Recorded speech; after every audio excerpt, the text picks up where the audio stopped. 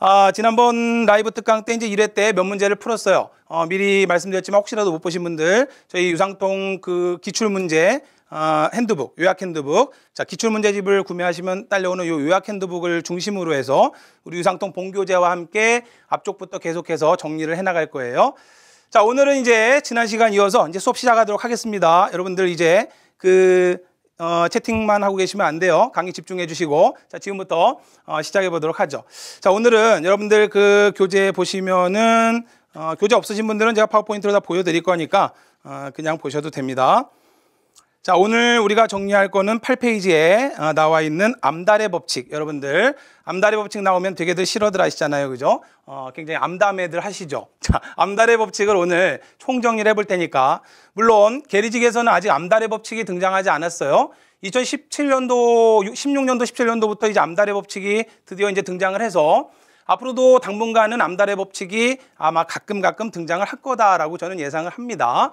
따라서 계리직도 얼마든지 암달의 법칙을 응용해서 시험 문제 낼 수가 있는데 아무것도 아닌 건데 또 암달의 법칙을 조금 응용해서 문제를 내면 여러분들 꼭 또 틀리시기 때문에 자 이번 시간에 다른 건 둘째치고 암달의 법칙만이라도 여러분들 완벽하게 정리를 하시면 이번 시간은 분명히 의미 있는 시간이다라고 생각을 합니다. 자, 암달의 법칙 아무것도 아니에요. 이번 시간에 암달의 법칙을 물론 이제 강의에서 다 정리했고 알고 계신 부분이겠지만 다양한 각도로 과연 내가 암달의 법칙이라고 하는 것을 정확하게 이해하고 있느냐. 자, 이것을 한번 체크해 보실 수 있도록 한번 진행을 한번 해볼게요. 자, 먼저 암달이라고 하는 사람이 만들어서 암달의 법칙이죠. 그죠? 2015년도에 92세로 어, 돌아가셨어요. IBM 수석 엔지니어였던 분이고 자, 이분이 이제 암달의 법칙을 만들어서 자기 이름을 붙인 거죠. 그러면 일단 질문 하나 던져 볼게요. 암달의 법칙은 도대체 뭐와 관련된 거예요? 공식만 열심히 외우면 아무 의미 없어요. 암달의 법칙이 왜 뭘 이 암달이라고 하는 분이 뭘 말한 거냐? 도대체 암달의 법칙이라고 하는 것이 무엇을 이야기한 거냐? 요거부터 아셔야지 될 거 아니에요. 자, 일단 한번 암달의 법칙의 의미가 뭡니까? 한번 채팅으로 한번 간단하게라도 아시는 분은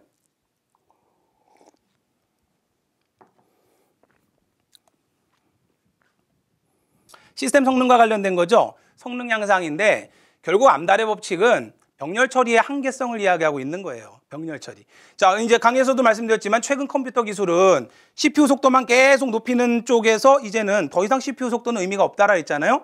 그러니까 반도체와 관련된 법칙이 여러 가지가 있어요. 여러분들 들어보셨음직한 무어의 법칙. 강의에서 말씀드렸죠. 자, 무어의 법칙은 더 이상 시험 문제에 등장하지 않습니다. 왜냐하면 무어의 법칙은 이미 폐기가 됐어요. 왜냐하면 18개월마다 CPU 속도가 두 배씩 증가한다는 게 무어의 법칙이에요. 고든 무어라고 하는 사람이 어, 18개월 정도의 CPU 속도가 1GHz 나오면 18개월 뒤에 2GHz 속도가 두 배씩 빨라진다 그랬단 말이에요. 그런데 전기 속도에 한계가 있기 때문에 실질적으로 CPU는 원칙적으로는 3GHz 정도가 한계 속도예요. 물론 그것을 이제 여러 가지 기술을 도입해서 뭐 3.4GHz 내 그 이상의 그 속도의 CPU가 나오고 있지만 원칙적으로는 일반적으로 3GHz 정도가 한계 속도로 보기 때문에 더 이상 CPU 속도가 두 배로 이제 증가하지는 않는단 말이에요. 자, 그래서 이제 어, 그 무어의 법칙은 더 이상 시험 문제 나올 만한 것이 아니고 자, 그리고 또 이제 반도체와 관련된 이제 그 중요한 법칙 중에 하나가 바로 이 암달의 법칙이죠. 그럼 이 암달의 법칙은 자, 이제 CPU 속도는 이제 큰 의미가 없어요. 그러면 뭔가 CPU를 여러 개를 장착해서 병렬 처리를 하는 쪽으로 최근에 컴퓨터 기술이 발전을 하고 있잖아요. 그래서 여러분들 CPU도 하나의 코어가 아니라 뭐 dual core, quad core, 어, 심지어는 뭐 옥타 코어, 여러 개의 코어, 여러 개의 CPU를 하나의 CPU 안으로 집어넣어서 어, 병렬 처리하는 이런 기술들이 개발되고 있잖아요. 그런데 이 고든모어가 가만히 보니까 병렬 처리라고 하는 것도 한계가 있더라. 자, 병렬 처리를 해서 계속 CPU를 막 무한대로 늘린다라고 해서 무한대의 속도 향상, 성능 향상이 있는 것이 아니더라. 병렬 처리의 한계성을 이야기하고 있는 게 바로 어, 암달의 법칙이죠. 예, 어, 무어의 법칙이 아니라 암달의 법칙. 물론 암달의 법칙 이외에도 구스타프슨의 법칙이라고 하는 것도 있고요. 자, 그리고 강의에서도 한번 언급해 드렸는데 황해 법칙이라고 여러분들 들어보셨습니까? 우리나라 분이에요. 황창규 현 KT 회장입니다. 자, 이분이 이제 그 삼성 반도체에 계실 때 그러면 황해 법칙은 뭐냐면 간단한 거예요. 아까 그 어, 무어의 법칙이 뭐라 했어요? 18개월에 CPU 속도가 두 배씩 빨라진다 했잖아요. 이분은 뭐냐면 1년에 반도체 메모리 용량이 1년에 두 배씩 집적도가 늘어난다라고 하는 게 바로 황해 법칙이에요. 아무것도 아니에요. 1년이면 예를 들어서 1기가짜리 메모리 칩 나왔으면 1년 뒤에 2기가 나오고 1년 뒤에 4기가 나오고 그러니까 1년마다 메모리 용량이 두 배씩 증가한다라고 이야기해서 자신의 이름을 붙여서 황해 법칙이라고 황창규 회장이 이제 이 이름을 붙였죠. 이것 때문에 이제 좀 그 이건희 회장하고 좀 삐그덕대다가 결국은 뭐 삼성을 퇴사했다는 설도 있습니다. 어, 왜냐하면 이건희 회장이 좀 기분이 나빴던 거죠. 어, 이건희의 법칙이라고 하든지 기분 좋게 회장님 좀 비좀 음, 맞춰서 아니면 뭐 삼성의 법칙이라고 하든지 그랬어야 되는데 자기 성을 붙여서 황해 법칙이라고 이름을 붙여버렸단 말이에요. 그래서 황해 법칙으로 전 세계적으로 알려져 있고 지금은 이제 KT 회장으로 이제 5G 여러분들 잘 아시는 어 뭐 이제 5G 상용화되고 있잖아요. 뭐 5G라든지 인공지능이라든지 뭐 이런 쪽으로 뭐 많이 이제 뭐 노력을 하고 있다고 하는데 좀 논란이 되고 있어요. 요즘 그 TV나 이런 거 자주 보신 분들은 아마 요분들 언론상에서 요번 최근에 많이 보셨을 겁니다. 아, 요즘 그 KT나 이런 쪽에 좀 이제 그 국정감사하고 뭐 이러면서 좀 많이 논란이 되고 있어요. 그래서 며칠 전 신문 기사 보니까 그 국회의원 이철희 의원이 어, 이분이 연봉이 처음에 5억으로 시작해서 다음에 12억, 그 다음에 24억으로 연봉이 뛰었답니다. 그래서 이철희 의원이 아니 도대체 연봉을 1년에 두 배씩 늘리는 게 황해 법칙이냐라고 막 비꼬는 어, 그러한 그 기사들 찾아보시면 있을 거예요. 그래서 황해 법칙이라고 하는 것도 있고요. 구스타프스네 법칙이라고 하는 것도 있는데 어, 이 우리가 이번 시간에 전, 정리하려고 하는 암달의 어, 법칙의 반대적 개념이 되는 게 바로 구스타프스네 법칙이에요. 요게 또 다시 이제 출제될 만할 때가 됐어요. 물론 아 이거는 아, 우리 라이브 특강에서 진행할 게 아니라 나중에 제가 문제풀이에서 다루어 드릴 겁니다. 어, 아까도 말씀드렸지만 우리 암다리 법칙이 조금 병렬 처리에 대해서 좀 부정적 어, 이제 한계점을 이야기한 거라면 그 한계점을 극복하기 위해서 뭔가 좀 음, 발전적인 방향으로 또 이제 그 어, 전망을 한 것이 바로 구스타프스네 법칙이에요. 자, 어쨌든 이러한 법칙들이 이때더라 정도는 기억을 해 두시는 게 좋을 것 같고요. 자, 그러면 암달의 법칙이 뭐냐 다 알고 계시잖아요. 그죠? 전체 작업 중, 자, P%, P라고 하는 게 나오고 두 개의 값, S값이 나오잖아요. 자, 전체 중에서 P를 차지하는 시스템을 개선해서 S배의 성능이 향상됐답니다. 컴퓨터는 전체적으로 다 성능이 향상되면 물론 가장 좋지만 워낙 다양한 부품들과 다양한 구성으로 이루어져 있기 때문에 모든 성능을 다 끌어올리기는 어렵단 말이에요. 예를 들어서 아무리 CPU를 병렬로 여러 개, 뭐 수십 개, 수백 개를 달아도 이 컴퓨터가 처리되는 명령들은 기본적으로 순차적으로 처리되도록 되어 있다 그랬죠. 그죠? 컴퓨터 프로그램은 기본적으로 순차 처리 구조로 처리되도록 되어 있기 때문에 아무리 CPU를 수백 개, 수천 개를 달아도 순차 처리되는 부분이 있단 말이에요. 그렇기 때문에 수백 개, 수천 개 CPU를 단다라고 해서 수천 배의 성능이 늘어나지 않는다는 겁니다. 자, 따라서 전체 작업 중에 몇 퍼센트 예를 들어 일부분이 예를 들어 개선해서 성능 향상을 했어요. S배 성능 향상이 됐습니다. 그러면 전체 시스템의 최대 성능이 어떻게 향상되느냐? 자, 이것을 가만 보니까 이러한 규칙들이 나오더라는 거죠. 이거를 공식을 외우고 있으면 아무 의미가 없는 거예요. 1-P 플러스 S분의 P 분의 1. 되게 어려운 것 같지만 아무것도 아니죠. 간단한 원리예요. 자, 그러면 전체 작업 중 P% 정도가 성능 향상이 됐다라고 했잖아요. 그럼 여기서 말하는 1-P 의미부터 보면 이 1-P의 의미가 뭐예요? 우리가 일반적으로 병렬 처리를 한다라고 할 때 병렬화가 가능한 부분이 여기서 P라고 한다면 병렬화가 가능하지 않은 부분, 불가능한 부분이 뭐예요? 1-P가 되는 거죠. 일반적으로 컴퓨터에서는 백분율을 100%를 1로 본단 말이에요. 그럼 예를 들어서 어, 예를 들어서 전체 작업 중에서 20%다 그러면 우리는 0.2라고 표현을 합니다. 그러면 20%가 성능 향상이 됐어요. 나머지 80%는 성능 향상이 안 된 거잖아요. 그죠? 자, 따라서 병렬화가 불가능한 부분을 우리가 구해줄 때 어떻게 하면 된다? 1-P를 하면 된다. 바로 이 공식에서 이 의미가 뭐예요? 병렬화와 아무런 영향이 미쳐지지 않는 순차 처리될 수밖에 없는 부분을 말하는 거예요. 이해되셨나요? 자, 다시 말하면 성능 향상이 되지 않는 성능 향상과 무관한 부분을 우리 구할 때 뭐라고 구한다? 1-P로 구한다. 이건 뭐예요? 성능 향상된 부분이 어느 정도 향상됐느냐를 말하는 거잖아요. S가 몇 배 성능 향상됐느냐? P가 자, 성능 향상이 된 부분을 말하죠. 예를 들어서 지금 같이 0.2다 그럼 여기 P가 0.2가 되는 거고 성능이 두 배가 향상됐다 그럼 2분의 0.2가 되는 거란 말이에요. 그럼 2분의 0.2라는 게 어떻게 나왔느냐? 보세요. 0.2라고 하는 거는 성능 향상된 부분 P잖아요. 예를 들어 성능 향상이 두 배가 이루어졌다라고 하는 이게 어떻게 나온 거예요? 성능 향상이 두 배가 됐다는 거는 속도 어 뭐예요? 처, 처리 속도가 시간이 반으로 줄은 거잖아요. 시간이. 우린 지금 시간을 따지는 거니까 처리 시간이 반으로 줄은 거죠. 이걸 꼭 기억하셔야 돼요. 성능 향상이 두 배가 됐다는 이야기는 속도는 반으로 줄은 거잖아요. 이해되셨나요? 자, 그렇기 때문에 속도가 2분의 1로 줄은 거예요. 시간이. 시간이 2분의 1로 줄은 거예요. 속도가 아니라 시간이. 자, 그런데 거기에 자, 2분의 1로 시간이 줄은 퍼센트가 얼마다? 0.2다. 이걸 곱한 거예요. 그래서 2분의 0.2가 나온 거죠. 아무것도 아니고 공식 외우는 거 아니에요. 그러면 결론적으로 전체적으로 이 공식이 말하는 게 뭐예요? 이 1이라고 하는 거는 성능 향상되기 전에 모든 것을 그냥 순차 처리했을 때 그때의 속도를 1로 보자는 이야기죠. 그리고 분모에 들어가는 1-p s분의 p는 뭐예요, 이거는? 이거는 성능 향상이 된 이후의 시간을 말하는 거예요. 그러면 가만히 생각을 해보세요. 이 분모가 커져야 돼요? 작아져야 돼요? 분모가. 작아져야 되죠. 분모가 1보다 작아져야 성능 향상이 나오죠. 왜냐하면 분모값에 들어가 있으니까 얘가 작아져야 정수값으로 얘가 커질 거 아닙니까? 얘가 작아져야. 만약에 여기가 1이 나오면 1분의 1이면 그냥 1이잖아요. 이해되셨나요? 여기가 만약에 분모가 2가 나왔어요. 2분의 1이 돼버리잖아요. 그러면 성능 향상이 아니라 거꾸로 성능이 저하돼 버리는 거죠.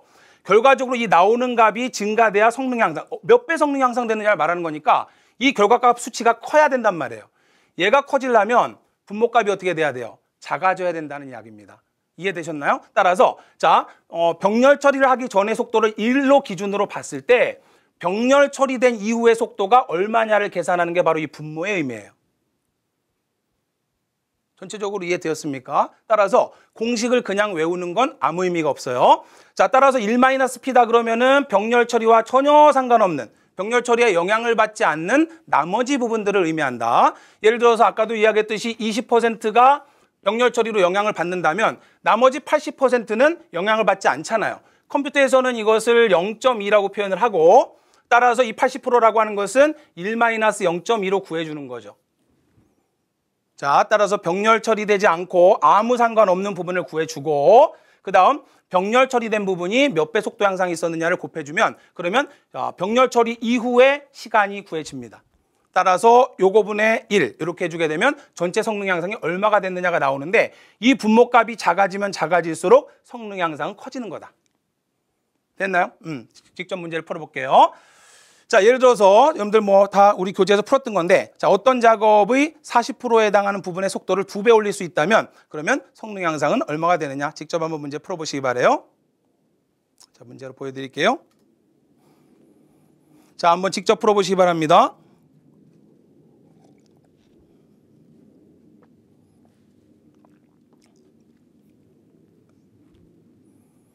자, 우리 교재에 들어가 있던 거예요. 이거 뭐지? 처음 보는 것 같은데 하시는 분들 우리 교재 수록된 거 그대로 가져온 겁니다. 자, 어떤 작업에 40%에 해당하는 부분의 속도를 두 배로 올렸대요. 그러면 40%는 두 배로 성능 향상이 된 거지만 나머지 60%는 성능 향상과 전혀 무관한 거 아닙니까? 그죠? 그럼 전체적인 성능은 얼마가 올라갔느냐? 두 배는 안 되겠죠. 왜냐하면 전체가 다 두 배가 올라간 건 아니니까 40%만 두 배로 올라갔으니까 나머지 60% 부분은 전혀 성능 향상하고 관계가 없단 말이죠. 그죠? 자 그러면 어, 여기서 40%라고 하는 거. 자 P값이 뭐가 돼요? 40%니까 P값은 0.4가 되겠죠. S값은 속도를 두 배로 올렸다라고 했으니까 S값 2를 주면 되겠죠. 자 우리 공식에 그대로 한번 대입을 해봅니다. 일단 1-P니까 1-P는 1-0.4. 굳이 공식을 안 해도 되잖아. 1-0.4는 영향을 받지 않는 부분 60% 따라서 0.6. 계산할 필요가 없는 거잖아요. 자, 그 다음 속도는 두배 속도 두배의 영향을 받는 건 0.4%. 0.4, 0.4%가 아니라 자 따라서 2분의 0.4. 또 여기까지 구해놓고 계산 못하시는 분들은 없겠죠. 1-0.4 하면 일단 0.6이란 값이 나왔잖아요. 이 0.6이라고 하는 값은 성능 향상에 영향을 받지 않는 60%를 말하는 거예요. 자 그리고 20%는 어, 40%는 40%는 두 배 성능. 두 배 성능이 향상됐으니까 소, 어, 시간은 반으로 줄은 거죠. 두 배 성능이 향상됐으니까 시간은 반으로 줄었죠. 따라서 시간이 2분의 1 곱하기 0.4. 됐어요? 따라서 2분의 0.4. 자, 계산하면 0.2가 되겠네요. 자, 따라서 플러스 0.2가 되겠고, 자, 0.6, 0.2 더해주면 0.8이 되겠죠? 자, 0.8분의 1이니까 얼마가 돼요? 자, 이것도 오랜만에 계산하시는 분들은 또 헷갈리시죠? 자, 분모 분자 10을 곱해주면 8이 되고 10이 되니까 10 나누기 8 하면 얼마 돼요? 1.25가 되겠다. 자, 따라서 전체 1.25배. 당연한 거죠. 40%만 두 배 성능이 향상됐으니까 60%는 그대로란 말이에요. 이해되셨나요? 이거를 절대 공식을 외워버리면은 응용했을 때 문제를 못 풀어요. 이따가 제가 문제를 냈을 때 과연 내가 이 그 암달의 법칙을 정확하게 이해했는지 이따 한번 문제를 풀어보면서 확인해 보시기 바랍니다. 자, 똑같은 문제 하나 더 내드릴 테니까 한번 직접 풀어보세요. 똑같은 거예요. 자, 이번에는 10%에 10%. 자, 여러분 연습하시라고 직접 연습하세요. 자, 아까 식에서 아까 식에서 어, P값만 0.1로 바꿔주면 되는 거죠.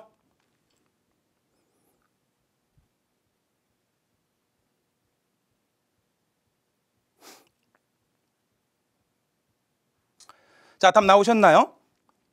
같이 풀어보겠습니다.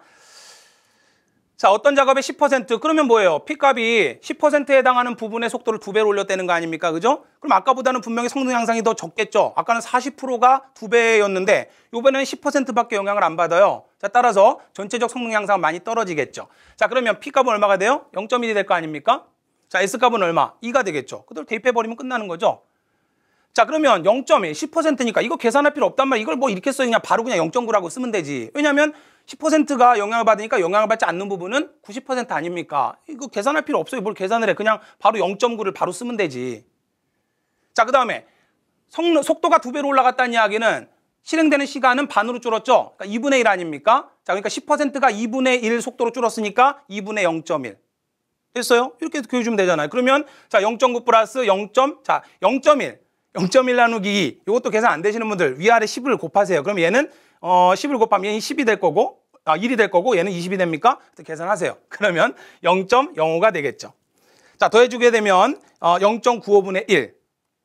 그러면 이거를 계산하시려고 하시는 분들 혹시라도 지금 이거를 0.95분의 1이라고 하니까 자, 1 나누기 물론 정석적으로 하면 0.95 이렇게 해줘야 되겠죠. 그러면 여기다가 100을 만들어 버리고 자, 요놈 어 95가 돼 버리니까 뭐 1이 돼서 95가 되고 이렇게 계산을 해야 될 건데 이거를 굳이 시험장에서 이렇게 계산할 필요가 없단 말이에요. 왜냐면은 이거를 만약에 문제 보기가 소수점 한 자리 두 자리 차이로 보기를 냈다면 그건 정신 나간 출제자죠. 분명히 정수값 부분에 뭔가 차이를 줬을 거란 말이에요. 뭐 1점 얼마, 2점 몇 배, 뭐 3점 몇 배 이런 식으로 줬을 거란 말이에요. 그럼 딱 봤을 때 0.951, 0.95는 1하고 거의 가깝잖아요. 1보단 작죠. 1보단 작고 1, 어, 그러니까 계산 안 해도 대충 얼마나 1점 얼마 나올 거 아니에요. 그러니까 계산 안 해도 물론 계산하면 1.05란 값이 나오겠으나 물론 뒤로 더 나가죠. 잘라서 1.05라 나오겠으나 시험장에서 이걸 이런 식으로 계산하려고 하지 마시라는 거죠. 분명히 시험 문제에는 보기가 나올 때 어, 이런 식으로 뭐 어, 1.05, 1.06, 1.07 이렇게 나오면 이거는 정신 나간 출제자지. 그렇게 안 나온단 말이에요. 1.05, 2.05, 3.05 이렇게 나온단 말이에요. 그럼 여기까지 구했으면 0.95분의 1이니까 0.95는 1하고 거의 가깝잖아요. 그러니까 거의 1과 가깝네. 1점 얼마를 찾아야지. 시험장에서 그걸 계산하려고 하지 마시란 이야기입니다. 무슨 말씀인지 아시겠죠? 그죠? 오케이.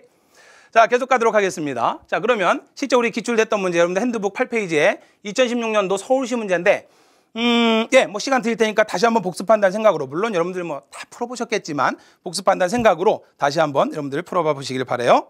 자, 한번 직접 풀어보세요. 시간은 한 뭐 30초 드리겠습니다.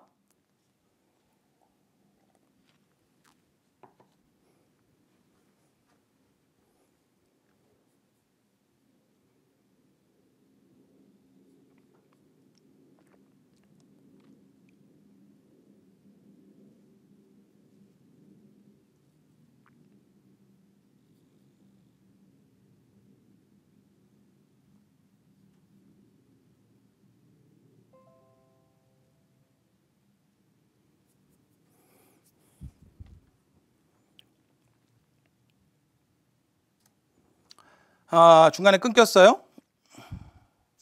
지금은 또 보이십니까? 유튜브 시스템이 왜 이러니?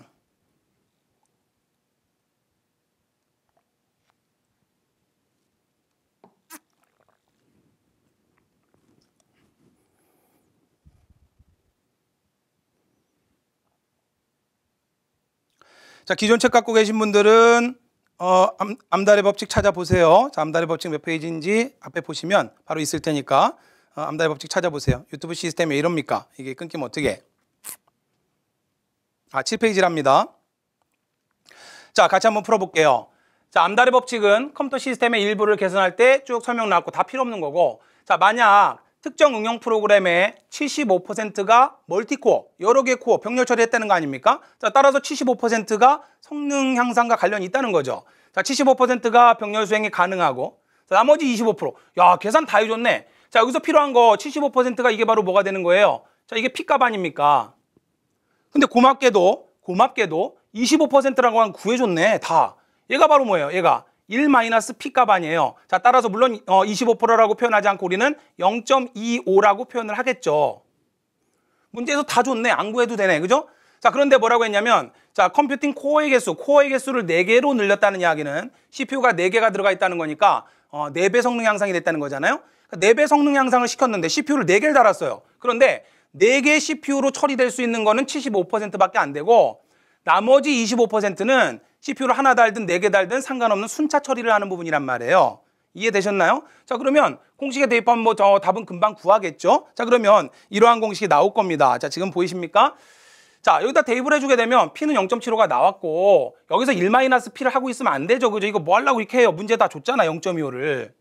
그렇잖아요. 그죠? 문제에서 분명히 0.25 이거 줬잖아요. 1-P 안 해도 그냥 바로 0.25 나오니까 우리는 그냥 바로 대입해버리면 되죠. 그럼 0.25 플러스 뭐가 돼요? 4분의 0.75가 되는데 자 성능 향상 4배니까 코어를 4개 달았으니까 4배 성능 향상이잖아요. 자 따라서 4가 되는데 분모가 0.75, 75%가 영향을 받는다라고 했는데 이거를 시험장에서 4분의 0.75 이거 언제 계산하고 있어요?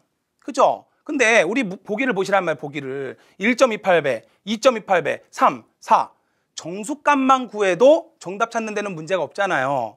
물론 우리는 정확한 해설을 위해서 이거를 뭐 계산해서 0.75를 4로 나누어서 0.187호다 계산을 하고 0.25에다가 또 0.187호 더해서 0.437호를 구해주고 0.4375분의 1이니까 뭐 2.2857 쭉쭉쭉 나간다고 계산했지만 우리는 시험장에서 1분 안에 문제 풀어야 됩니다. 40초 안에 풀어야 돼요. 다른 쉬운 문제 다 풀고 문제 푼다고 하더라도 보통 한 1분 안에 문제를 풀어야 되는데 이거 언제 이거를 계산하고 있냐고 이거를.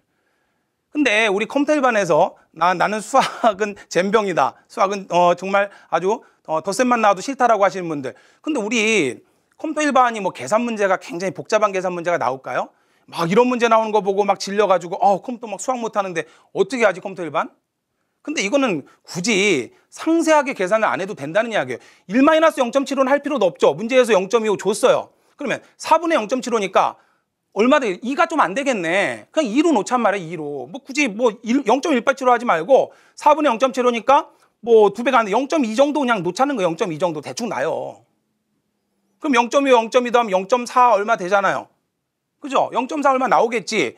그러면 0.4375라고 하는 정확한 값이 안 나와도 대충 얘 0.2 정도로 보고 그죠? 0, 두배 0.8, 0.8이면 인데 0.75니까 실제로는 1. 얼마 8이나 9 얼마 나올 거 아니에요. 0.2보다는 좀 작은 값 나올 거 아닙니까? 그러니까 0.2 정도로 놓자 그냥. 0.2와 0.2 더해서 그냥 0.45 정도로 나요. 0.45 정도로. 그러면 정확한 값이 아니더라도 대충 보면 0.45분의 1이다 그러면은 아, 두 배 조금 넘네. 그렇잖아요. 그죠? 그러면 2점 얼마 그냥 정답 나오잖아. 이걸 시험장에서 언제 이거를 계산하고 있냐고 이거를. 무슨 말씀인지 이해되시죠? 그죠? 자, 그래서 이 과정을 다시 한번 보여드리는 이유는 정확하게 계산하려고 하지 말고 개념만 알면 그냥 대충 넣어서 대충 값으로 잡으라고 그냥 0.75, 0.8 정도 잡고 그럼 0.2 나오잖아요. 더해주면 0.45 정도 되니까 0.45분의 1이니까 아 0.45분의 1이니까 2점 얼마 나오겠구나. 그죠? 2보단 크잖아요. 2점 얼마 나오겠네. 그러면 2.287로 보기 보니까 이걸 만약에 보기를 2.27배, 2.28배, 2.29 이렇게 내면 이거는 정신 나간 주제야지 이거는 절대 그렇게 안 나온단 말이죠. 그러니까 정수값만 보자. 그러면 정답 2번 2.28배라고 하는 것을 구해낼 수 있다는 이야기죠. 무슨 말씀인지 이해되십니까? 좀 어려운 걸로 이제 내드릴 거예요. 좀만 기다리세요. 함승규님 조금 이따 어려운 거 나오면 꼭 맞추셔야 됩니다. 자, 그 다음 우리 어, 문제 또 들어가 보면 자, 이거도 역시 어, 문제 나왔던 건데 또 한번 여러분들 잠깐 또 복습하는 겸 풀어보시기 바랍니다. 어려운 문제도 좀 이따가 내드릴 겁니다.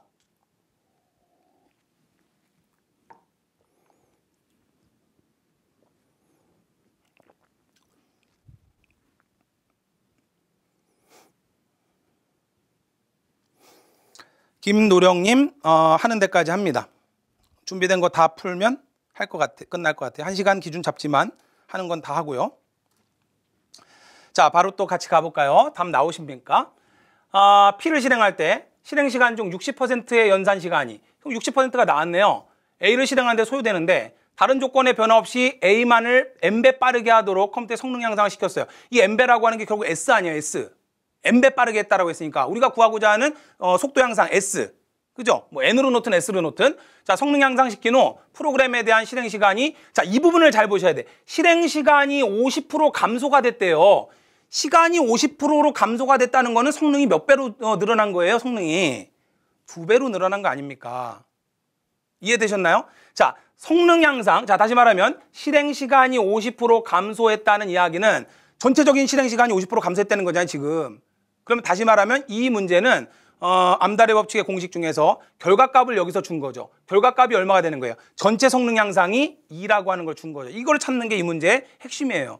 이 문제가 쉬운 것 같지만 암달의 법칙의 의미를 모르고 공, 그냥 공식만 암기하신 분들은 어? 가만히 있어봐. P값이 60% 0.6인가?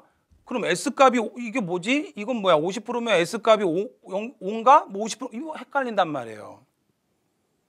무슨 말씀인지 이해되십니까? 문제를 가만히 잘 읽어보세요. 자 이렇게 해서 뭔가 좀 뭐 성능을 빠르게 했는데 컴퓨터의 성능 향상시킨 후 프로그램에 대한 전체적인 실행 시간이 50% 감소했다는 거잖아요.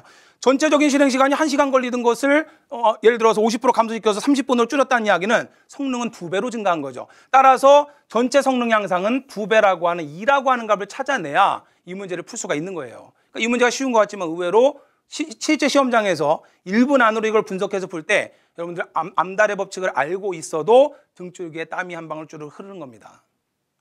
자 그러면 문제 풀면 어떻게 될까요? 자 P는 0.6이 되겠죠. 우리가 구해야 되는 값은 S값이에요. 자몇 배, 몇 배 성능, 몇 배 빨라진 거냐 이거 구하라는 거잖아요. 자 따라서 우리가 구하고자 하는 값은 S값이고 그래서 공식에다 대입해보면 이렇게 될 거 아니에요. 1-0.6 이거 뭐 계산할 필요 뭐예요? 0.4죠. 다시 말하면 60%가 영향을 받는다고 했으니까 영향을 받지 않는 부분은 40%란 말이에요. 근데 몇 배 빠르게 어, 몇 배 성능 향상을 시킨 건 이걸 몰라 이거. 우리 S를 우리가 구하는 구하고자 하는 값이에요. 그리고 0.6 분의 1. 이 값이 2가 나왔다는 거. 요걸 찾아야 되는 거죠. 다시 문제로 가보면 전체적인 속도가 뭐라 했어요? 문제에서 자 전체적인 실행 시간이 50% 감소했다. 전체적 실행 시간이 50% 감소했다는 이야기는 전체적인 성능 향상이 두 배가 있었다는 거다. 따라서 요걸 찾아내야 이 문제를 풀 수가 있다 이 소리예요. 자 따라서 공식에 대입을 해봤더니 자 0.6 이렇게 돼서 요 값이 2가 나와야 된다더라. 자 그러면 계산해 보니까 0.4 플러스 S분의 0.6분의 1 이 결과값이 2가 나와야 되는데 여기까지 또 잘 구해놓고 또 이 S값을 못 구하는 분들 자 잘 보세요 어려운 게 아닙니다 원리를 알면 간단한 거죠 얘가 얘가 2가 되려면 분모가 얼마가 돼야 2가 됩니까 0.5가 돼야 되잖아요 0.5가 요 놈이 0.5가 돼야 0.5분의 1이 돼야 결과값이 2가 나올 거 아니에요. 이해되셨나요? 자, 따라서 0.4 플러스 S분의 0.6이 0.5가 나와야 될 거 아닙니까? 그래야 이 결과가 성능 향상 최종 결과가 2가 나오니까. 됐죠? 자, 따라서 0.4 플러스 S분의 0.6 한 값이 0.5가 나오려면 요 놈이, 요 놈이 얼마가 나와야 돼요? 0.1이 나와야 되죠. 계산하는 방법이에요. 그러면 얘가 0.1이 나와야 되니까 S가 얼마? 그렇죠. 6이죠. 6. 따라서 6배 올렸다는 거죠. 이해되었습니까? 자, 따라서 이 말은 무슨 소리예요? 이제 문제로 가서 거꾸로 우리가 한번 복기를 해보면 이런 이야기죠. 60%가 자, CPU를 예를 들어서 6개를 달았어요. 자, 따라서 6배 성능을 높였습니다. 이 6배 성능 높인 거에 영향을 받는 거는 60%예요. 나머지 40%는 이 6배로 성능 을 예를 들어 CPU 6개를 달았단 말이에요. 그런데 40% 부분은 영향을 안 받아요. 이해되셨나요? 그랬더니 전체 성능 향상은 6배로 올라가는 게 아니라 실행 전체 성능 향상은 2배 올라가더라. 근데 이 문제는 다시 말씀드리지만 이게 핵심이에요. 실행 시간이 50% 감소했다는 이야기는 시간이 50% 감소했다는 이야기는 성능은 두 배로 빨라진 겁니다. 따라서 최종 결과값이 2가 나온 거예요. 그래서 우리 공식에다가 쭉이 값을 차 대입해서 이 결과값이 이퀄 2. 자, 그래서 어, 정답을 찾으니까 아, 요 놈이 2가 되려면 요 놈이 0.5가 되면 되겠구나. 자, 요 놈이 0.4니까 0.4 플러스 0.1. 아, 요 놈이 0.1이 되면 되겠네. 그럼 S분의 0.6이 0.1이 되면 되니까 S값은 6이 되면 된다. 따라서 어, 정답은 6이 되는 거죠. 됐나요? 자, 그러면 이 문제 한번 풀어보시기 바랍니다. 자, 이 문제는 정보처리 산업기사에서 2007년도에 나왔던 문제예요. 한번 풀어보시기 바랍니다.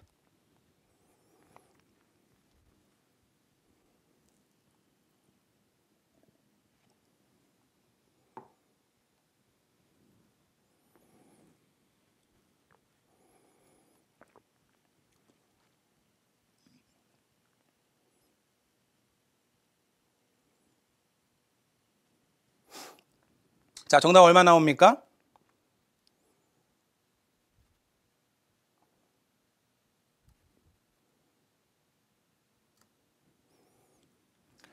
자, 정답 나오신 분들 빨리 정답들을 써줘 보세요. 몇 번? 1번입니까? 2번입니까? 3번입니까? 4번입니까? 문제 안 보여요? 비켜드릴까요?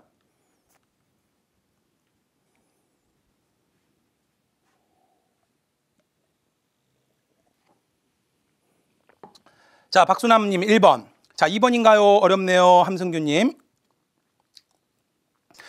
그러니까 앞에 두 문제를 풀고 이 문제를 못 풀면 아직 암달의 법칙이 완전히 내 것이 된 게 아니다 말이죠. 차분히 한번 풀어보세요. 유상욱님 2번. 자매송님 2번. 2222번은 없어요. 해석이 안 되는 분. 2번.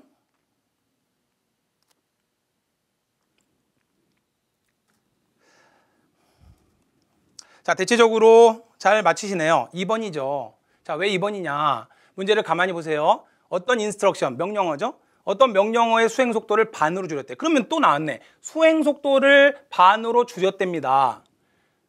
수행 속도를 반으로 줄였어. 속도를 반으로 줄였다고 가정하자. 아, 이 프로그램에서 사용한 인스트럭션들의 20%가 20%가 이 인스트럭션이라면 수, 어, 전체 수행 속도는 얼마만큼 향상되었느냐. 근데 잘 봐야 돼요. 20%라고 하는 요거는 영향을 받았다는 거잖아요. 그러니까 이 20%라고 하는 값이 P값이죠. 따라서 P값은 얼마가 됩니까? 0.2가 된다는 거 알 수 있어요. 그죠? 그럼 1-P는 얼마예요? 자, 1-P값 바로 구하죠. 자, 80%는 영향을 안 받는 거잖아요. 0.8. 됐잖아요. 여기까지 구할 수 있잖아요. 그러면 자 일단 대입해야 되겠죠. 1-P값이 0.8. 얘는 아무 영향을 받지 않는 부분이고 그 다음 여기는 당연히 1을 기준으로 써야 되는 거고 자, 여기가 이제 S분의 P 아닙니까? S분의 P인데 그러면 영, 어, S는 자, P는 일단 나왔어요. 2%니까 0.2라고 하는 값이 나왔는데 그럼 여기서 S값은 뭐냐? S값은 여기서 2를 써야 돼요. 일단 풀고 나서 좀 견해를 말씀드릴게요. 이 출제자는 이렇게 낸 거예요. 그러면 어떻게 됩니까? 계산 이거 할 수 있잖아요. 자, 0.2, 2 나누면 얼마입니까? 0.1이 되죠. 자, 이거 계산하면 0.1 나오잖아요. 그럼 0.8 플러스 0.1, 0.9가 되니까 결과적으로 이 값은 0.9분의 1이 나와버리죠. 그죠? 자, 0.9분의 1 나오니까 계산하면 자, 그리고 0.9분의 1은 9분의 10 아닙니까? 10을 위아래 곱해주면 그 얼마 나와요? 1.1, 1, 1, 1 무한값으로 나가죠. 그죠? 자, 1.111 무한값으로 나가요. 그러면 이거를 백분율로 표시하면 얼마예요? 1.11111 나갔다는 이야기는 백분율로 표현하면 얼마입니까? 111.111111%죠. 다시 말하면 111.11%죠. 이해되셨나요? 그럼 100으로 봤을 때 성능 향상은 11%가 있었다는 거죠. 그래서 정답은 2번으로 이 사람은 출제를 한 건데 그런데 문제는 뭐냐면 요 말의 의미가 애매. 어떤 instruction의 수행 속도를 반으로 줄였다고 가정한다. 이거를 출제자가 그러니까 우리 컴퓨터 하는 사람들이 국어가 좀 애매해요. 사실은 수행 속도를 반으로 줄였다라 그러면 거꾸로 속도를 속도를 줄였다는 이야기는 어떻게 보면은 느려졌다는 이야기거든요. 이거를 만약에 이 의미로 문제를 출제했다면 수행 속도가 아니라 수행 시간이라고 원래 문제를 내줬어야 돼. 무슨 말씀인지 이해되셨나요? 그러니까 속도를 보세요. 100km로 달리다가 속도를 50km로 줄였다는 이야기는 느려졌다는 거잖아요. 무슨 말씀인지 이해되세요? 100km에서 속도를 반으로 줄였어요. 50km로. 느려, 늘어졌다는 이야기잖아요. 그러니까 이 문제는 원래 출제자는 이걸 수행 속도가 아니라 수행 시간이라고 원래 문제를 냈어야 돼요. 어떤 명령어가 처리되는 시간이 반으로 줄었어요. 그럼 처리되는 시간이 반으로 줄었으니까 아까 이야기했듯이 그럼 S값이 정확히 2라는 값이 나와요. 근데 이 문제에서는 수행 속도를 반으로 줄였다. 이거는 표현을 잘못한 거예요, 문제에서. 무슨 말씀인지 제 말씀 이해되세요? 자, 뭔가 좀 아실 것 같으세요, 김혜진님? 이따 그런 문제를 냈을 때 아, 문제를 좀 풀어보셔야 되는데 자, 이 문제 무슨 의미인지 이해되세요? 출제자는 어쨌든 암다리 법칙 문제를 출제한 거예요. 근데 국어를 표현하면서 요거를 좀 잘못 표현한 거예요. 잘못 오해해버리면 수행 속도를 반으로 줄인다. 속도를 반으로 줄인다라 그러면 느려진다는 거란 말이에요. 그럼 암다리 법칙 성립이 안 되지 이게. 근데 출제자는 수행 시간이 반으로 줄어든다. 1시간 실행하던 게 30분으로 반으로 줄었다는 겁니다. 그럼 성능 향상 두 배 아니에요. 그래서 S값을 2로 넣었을 때 이렇게 공식에 대입해서 나오면 1.111 나오니까 자 다시 말하면 111.11%가 되잖아요. 그럼 100과 비교해 봤을 때 11.11%가 빨라졌다는 이야기인데 근데 수행 속도라는 말을 쓰지 말고 여기서 수행 시간이라고 했어야 이 문제는 더 정확한 문제였다 이런 이야기입니다. 됐나요? 됐어요. 자, 그 정도 이해하시면 됐고 그러면 어, 여기까지 이해를 하셨다면 이제 제가 내는 문제를 요거를 맞추셔야 되는데 어, 암달의 법칙 어렵지 않죠, 그죠? 자, 근데 이제 과연 은지님 암달의 법칙 꼭 나왔으면 좋겠네요라고 하셨습니다. 다른 분들도 이제 암달의 법칙 대충 알 것 같잖아요. 이제 공부하는 방법이에요. 과연 내가 정확하게 다 이해를 했느냐? 자, 문제를 하나 내드릴 테니까 이 문제를 시간 1분 드릴게요. 1분 드릴 테니까 이 문제를 여러분들 한번 직접 한번, 한번 가만히 곰곰이 생각해 보세요. 조금 어려워요. 쉬운 것 같지만 어려워요. 정답 아시는 분은 바로 어, 바로 채팅창으로 정답 입력해 주세요. 문제 드립니다. 자, 프로그램의 95%가 병렬화되었대요. 95%가 뭔가 어, 빨라지겠죠. 병렬화를 하니까. 자, 95%가 병렬화됐을 때 빨라질 거 아닙니까? 그러면 몇 배 빨라졌는지 모르겠어요. 근데 이론적으로 최대 성능 향상은 몇 배까지 가능하냐? 이게 시험 문제 나올 수 있어요. 만약에 암달의 법칙이 시험 문제 나오면 이런 식으로 응용돼서 나온다는 게 저의 생각입니다.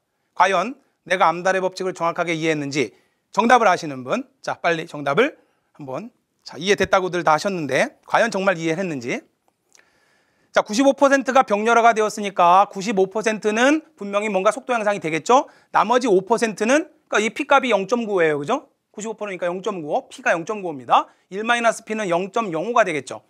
자 그런데 문제는 어, 병렬화가 됐는데 어느 정도 CPU를 늘렸는지 몰라요. CPU를 여러 개 늘려서 병렬 처리한다는 이야기에 지금 그러면 CPU를 여러 개 늘린다고 가정할 때 최대 최대 성능 향상은 몇 배까지 가능하냐?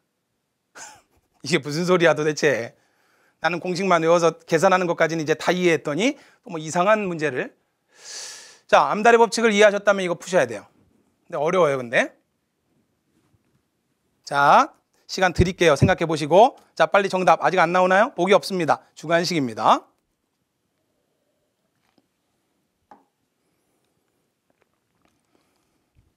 맨날 쉬운 문제 풀고 맨날 쉬운 거 공부하는 건 아무 의미 없어요. 복이 없습니다. 복이 있으면 또 찍어서 맞추실 거니까. 진짜 아시는 분이 있나 보려고. 김혜진님 4배. 자, 또, 어, 플라워님 20배. 2배. 2배.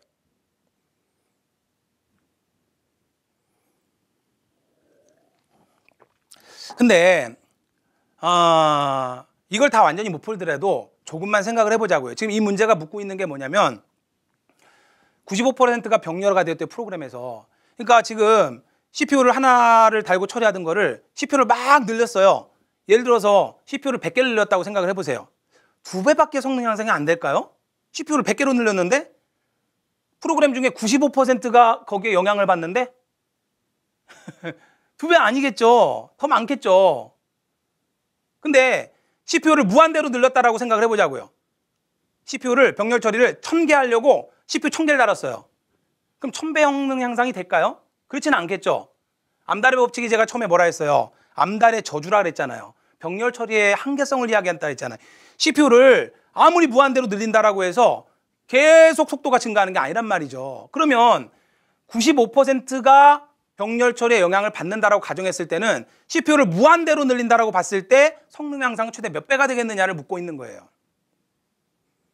4배, 좀 더 쓰세요. 아니 CPU 1000개를 단다니까? CPU를 1000개를 달아버리면 그죠? 4배는 넘겠지. 아, 왜 이렇게 통이 작으십니까? 좀 통 좀 크게 쓰세요. 2배, 4배. 100%는 뭐예요? 몇 배냐니까. 100%. 196배는 왜 어디서 나온 거예요? 어디 본인 뭐 어? 몸무게는 설마 아니겠죠? 9배, 95배, 10배, 2배. 정답 한 분이 있었어요. 1000배. 아니, 1000개 늘려서 1000배가 늘어나면 그러면 암달의 저주가 아니잖아요. 다시 말씀드리지만 암달의 법칙이라고 하는 거는 병렬 처리 한계성을 이야기하는 거라니까.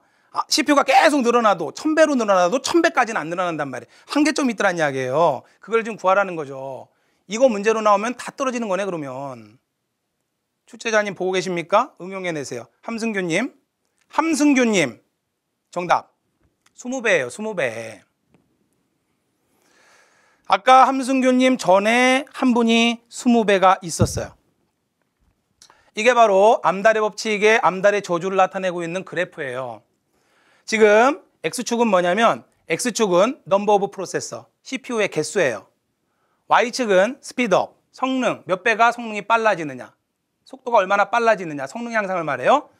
CPU를 계속 늘려갑니다. 이거 비슷한 거 있었죠, 그죠? 여러분들 그 뭐예요, 이거 쭉 가다가 thrashing 이렇게 뚝 떨어지는 거. 이건 thrashing이고.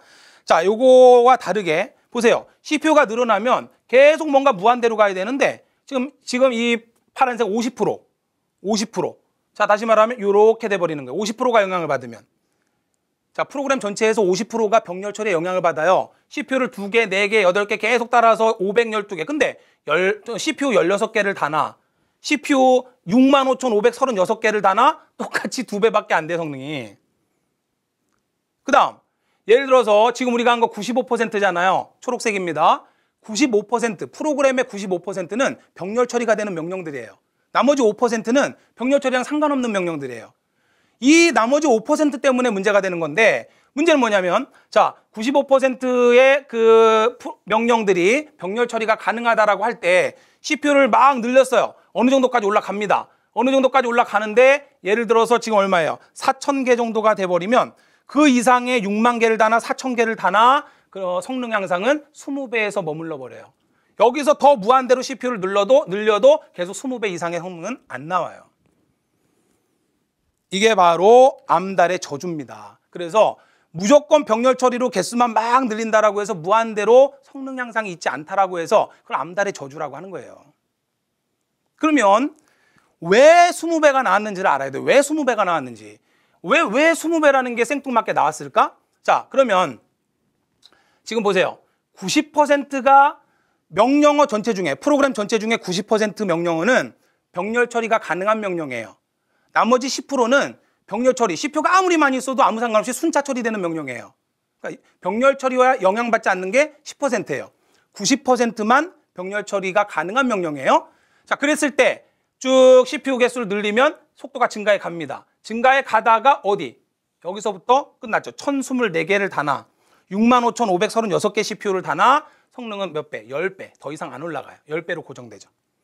95%가 돼버리면 20배로 고정돼 버리고. 그러면 90%로 했을 때 10배, 95%로 했을 때 20배. 이게 어디서 나온 거냔 말이에요. 생각해 보세요. 알고 계신 분.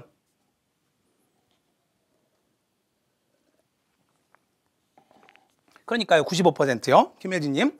이게 95%예요. 95% 프로그램 전체 중에 95%가 병렬 처리 영향을 받아요. 5%는 순차 처리된 명령이에요. 병렬 처리 아무리 CPU 많이 달아도 얘들은 영향을 안 받아요. 95%가 P값이잖아요. 0.95가. 그럼 그때 성능 향상이 아무리 CPU 개수를 늘려도 어느 순간부터는 20배 이상은 성능 향상이 안 나와요. 아무리 CPU를 더 늘려도. 그래서 20배가 저 한계예요. 이게 왜 그러냐고요. 이 이유를 아시는 분. 은지님 이게 무슨 말인지 모르시겠어요? 자, 다시 한번 차분히 설명드립니다. 암달의 저주라고 했잖아요. 지금 프로그램 하나가 있는데 여러분들 그걸 아셔야 돼요. 여러분들 컴퓨터가 dual core, quad core라고 해서 막 성능이 막 4배 빨라지나? 아니거든요. 왜냐면 여러분들 프로그램이 여러 개 병렬 처리 CPU를 지원한, 지원하지 않으면 그러면 CPU 아무리 여러 개 달아도 아무 상관없어요. 여러분들 예를 들어서 뭐 간단한 프로그램 같은 거, 뭐 아래 한글 같은 프로그램 실행하는데 CPU가 뭐 엄청 많다고 엄청 빨라질 것 같아요? 아니에요. 그러면 자, 그러면 보세요.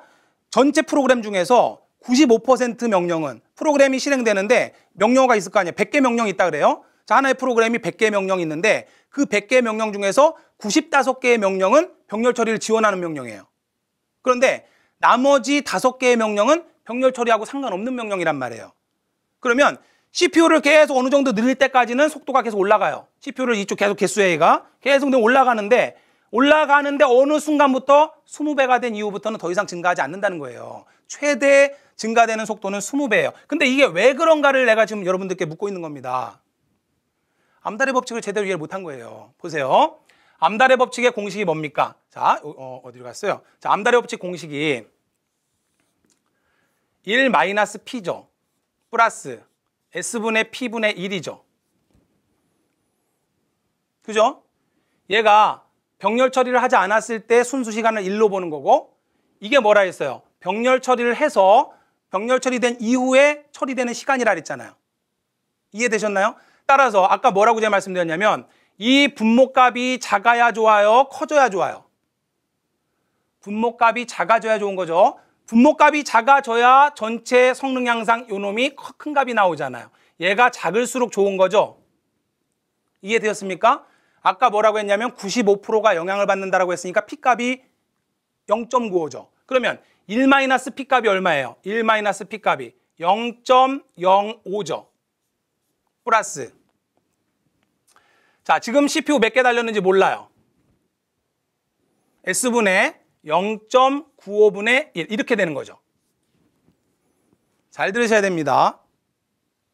자, 그러면 여기서 잘 보세요. 얘는 고정된 상수값이죠. 분모의 값은 이 S값에 따라서 달라지죠. 이 S값은 뭐예요, 지금? CPU 두 개 달았느냐? 그럼 두 배 성능.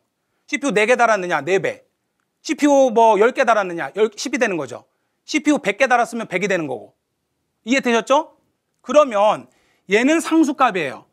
그러면 요 값이 요 값이 작으면 작을수록 얘는 어쩔 수 없는 상수값이니까 바뀔 수 없는 값이니까 이 값이 무조건 작으면 작을수록 전체 성능 향상은 높아지는 거죠. 이해되세요 여기까지? 자 다시 말씀드립니다. 이 분모값이 작아져야 이 분모값이 작아져야 전체 성능 향상 값은 큰 값이 나올 거 아닙니까? 분모니까 1분의 1보다는 0.5분의 1이 더 어, 뭐예요? 저 0.5분의 1이 더 큰 값이 나오잖아요. 그죠? 1분의 1은 1이고 0.5분의 1은 2잖아요. 그죠? 그러니까 이 분모값이 작은 값이 나와야 되는데 얘는 상수로 고정됐잖아요. 0.05는. 그리고 S분의 0.95니까 이 값이 그러면 최대한 작게 나와서 0으로 수렴한다라고 보면 CPU 개수를 10개, 100개, 1000개, 만개, 6만 개, 10만 개를 달아버리면 얘 분모값이 커져버리면 이, 이 S분의 0.95 값이 작아질 거 아닙니까? 얘가 무한대로 간다라고 보면 얘가 무한대로 CPU 개수가 늘어난다라고 보면 0에 수렴할 거 아니에요. 그래서 그래서 0이 됐다라고 보자면 결론적으로 최대 성능 향상은 0.05분의 1을 넘지 못한다 이 소리예요. 그래서 얼마가 나온 거예요? 20. 최대 성능 향상은 20이 되는 거예요. 이해되세요? 이게 암달의 법칙에 이거 지문 나오면 다, 틀, 다 틀린 거예요, 여러분들. 자, 지금 이 말이 이해가 잘 안 되시는 분들 다시 한번 차분히 설명드릴 테니까 이해하고 갑시다. 암달의 법칙 나오면 이거밖에 없어요, 이제 나올 게. 자, 다시 설명드릴게요. 자, 우리 95%가 영향을 받는다라 그랬어요. 1-P는 0.05입니다. 얘는 상수값이잖아요. 플러스 이 S값은 성능 향상을 말하는 거니까 CPU가 몇 개 달리느냐에 따라 얘는 바뀌는 거예요. 두 개 달리면 2, 네 개 달리면 4. 그죠? 10개 달리면 10배. 그러니까 10, 100개 달리면 100, 10만 개 달리면 10만이 되겠죠. 자, 그리고 영향을 받는 게 0.95가 된단 말이에요. 요거 분의 1입니다. 그래서 나온 이 결과값이 어, 성능 향상이잖아요.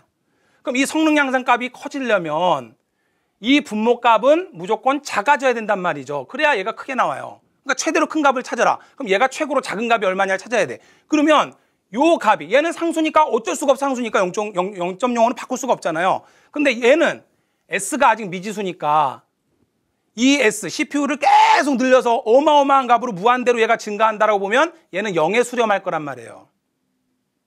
분모값이 커지니까 이게 이해가 안 되시는 분들은 자 보세요. 1분의 1 하면 1이잖아요. 0.5분의 1 하면 2가 되는 겁니다. 그렇잖아요. 그죠? 그 다음에 어, 예를 들어서 뭐 0.05분의 1하면 얼마가 되는 거예요? 20이 돼요? 자 이런 식으로 계속 증가하잖아요. 그러니까 여기서 거꾸로 반대로 얘가 커져버리면 예를 들어 2분의 1이 돼버리면 0.5가 되는 거죠.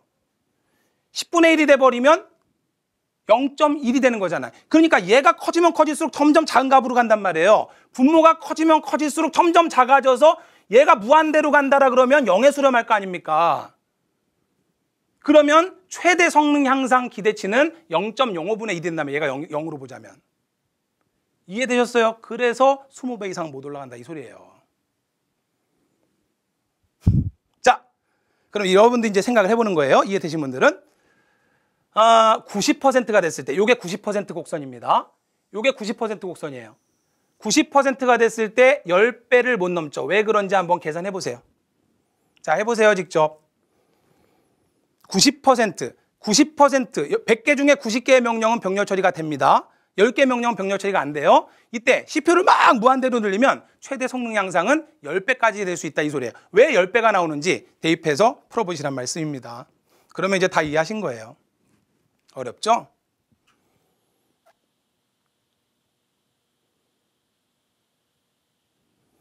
충분히 나올 수 있어요. 이런 유형으로. 이게 좀 되게 어려운 것 같지만 지문으로 나올 수 있어요. 보세요. 다음 중 암달의 법칙과 관련된 설명으로 잘못된 것을 골라라 해놓고 이거 지문 나올 수 있단 말이에요. 프로그램 전체 95%가 병렬화되었을 때 이론적인 최대 성능 향상은 10배이다. 틀린 거란 말이에요. 그게 왜 틀렸는지 찾아낼 수 있어야 된단 말이죠. 나올 수 있어요. 아니면 이 자체가 문제로 나올 수 있죠. 어떤 프로그램이 있는데 그 프로그램의 95%는 병렬 처리 영향을 받는다. CPU 개수를 계속 무한대로 늘린다라고 봤을 때 최대한 성능 향상은 몇 배까지 가능한가? 시험 문제 나올 수 있겠죠? 충분히 나올 수 있어요.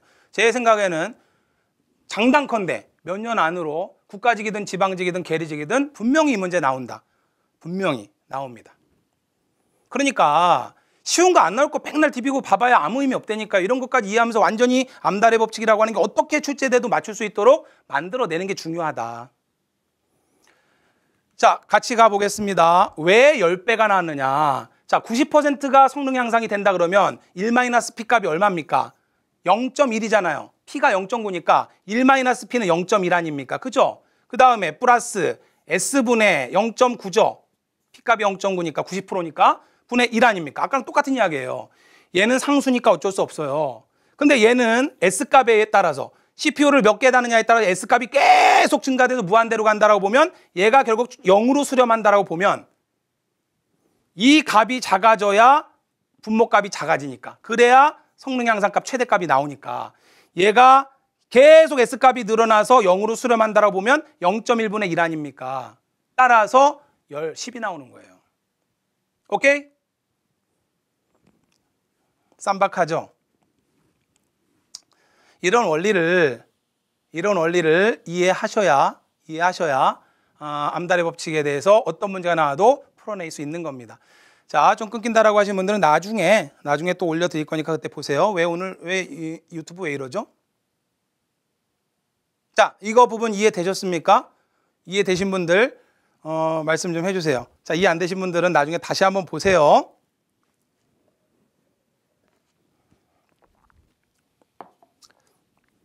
보세요. 시험 문제가 나오는 출제 패턴이 있단 말이죠. 여러분들 이 기출문제집에 2007년도부터 2018년도까지의 모든 기출문제를 물론 뭐 제가 실수로 몇 문제를 뺐을 수는 있을지 모르지만 다 집어넣어서 1권, 2권에다가 유형별로. 그러면 문제를 유형별로 보다 보면은 암다리 법칙 문제도 보세요. 전혀 나오지 않던 문제가 한 번 딱 등장해 버리니까 또 나왔잖아요. 그러면 곧 암다리 법칙 문제 또 나옵니다, 분명히. 그게 계리직이 될 수도 있고 국가직이 될 수도 있고 지방직이 될 수도 있어요. 서울시가 될 수도 있고 분명히 또 나올 거란 말이에요. 그게 계리직 시험 문제 나온다고 보면 그대로는 안 낼 거란 말이죠.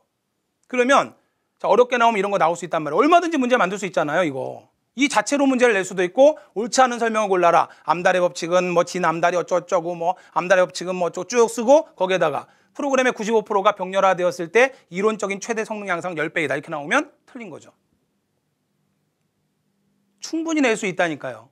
그러니까 암달의 법칙이라고 하는 하나의 주제가 나왔을 때 그것에 대해서 뭔가 완벽하게 이해를 하고 어떻게 문제가 출제가 돼도 맞춰낼 수 있도록 여러분이 완벽히 내 것으로 만드는 게 중요하지 항상 제가 강조드리는 게 있어요.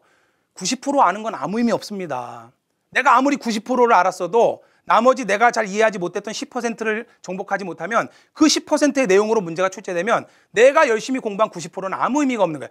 암다르 법칙 죽어라 공부해서 맨날 공식에다가 대입하고 맨날 문제 풀었어요. 그냥 뭔 뜻인지도 모르고 암다르 법칙 뭔지도 모르고 맨날 대입해서 문제 풀었단 말이에요. 이런 문제 딱 나왔어요. 내가 열심히 풀어서 공부했던 내가 90% 이해했던 그 암다르 법칙은 아무 의미 없든 결과적으로 아무 의미가 없는 게 되는 거죠. 그래서 암달의 법칙의 의미를 정확히 이해하시라. 암달의 법칙이라고 하는 것은 다시 원론으로 돌아와서 자, 암달이라고 하는 사람이 원래 이 사람이 병렬 처리를 많이 이제 연구하던 분입니다. 병렬 처리를 계속 연구하고 하다 보니까 야, 병렬 처리에 이 한계점이 있더라. 바로 이런 한계점이 있더라는 거예요. 자, 아무리 CPU를 증가시켜도 어느 순간부터는 더 이상 속도 증가가 일어나지 않더라. 그래서 암달의 저주라고 하는 겁니다. 병렬 처리도 한계가 있다. 이것을 이야기하는 거예요. 자, 그래서 이제 이것이 좀 암울한 면을 이야기하고 있다면 구스타프 스네 법칙이라고 하는 것은 나중에 이제 제가 문제 풀이해서 다뤄드 여기서 다 하면 의미가 없잖아요. 그죠? 여기서 다 해드리면 무료로 다 공개되는 건데 무슨 뭐로 먹고 살아. 그러니까 이제 나중에 모의고사에서 구스타프스네 법칙 아, 이런 것들도 또 다루어 드릴 거니까 기다려 주시길 바래요. 자, 따라서 암다리 법칙 이제 정확히 이해되셨죠? 의미도 이해하셔야 되고 자, 암다리 법칙에 대해서 어떤 문제 나와도 풀어낼 수 있도록 여러분들 아, 준비하시기 바랍니다. 자, 역시 여러분들 핸드북 9페이지에 있는 문제, 이 문제도 질문들 많이 하시는 문제인데 자, 이 문제 한번 같이 풀어볼게요. 자, 역시 한번 여러분들 직접 한번 풀어보시기 바랍니다.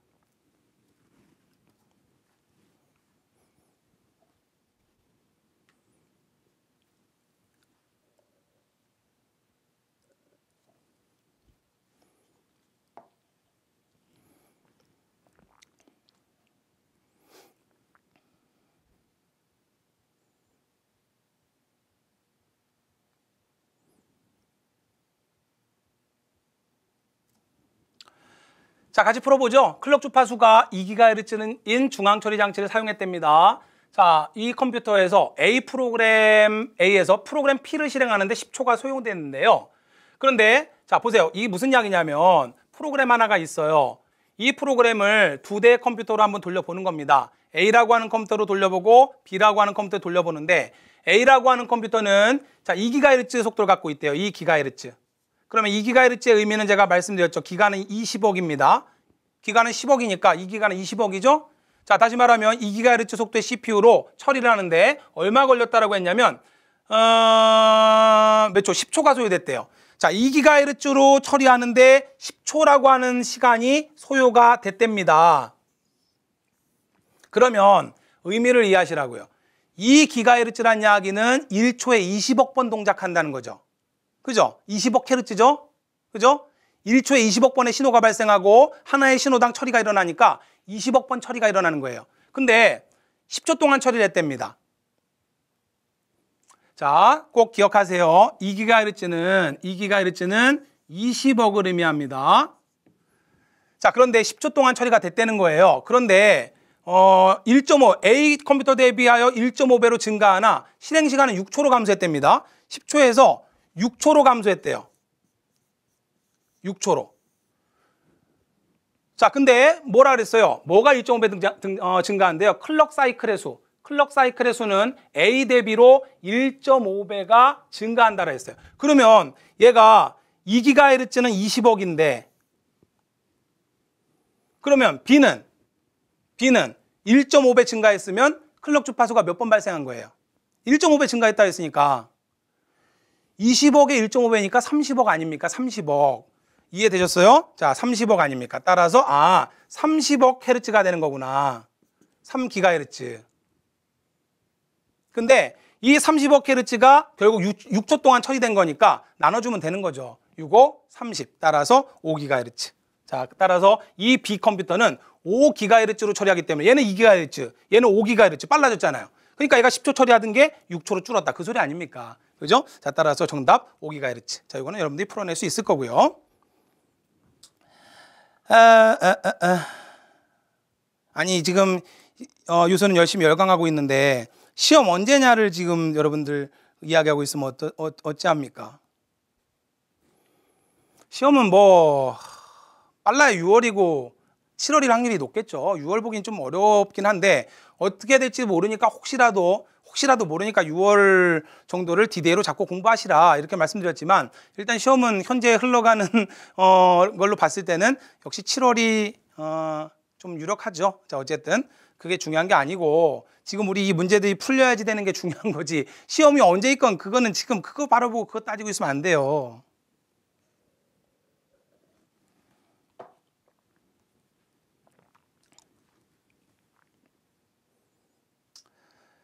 다음 문제 저는 또 계속 갈게요.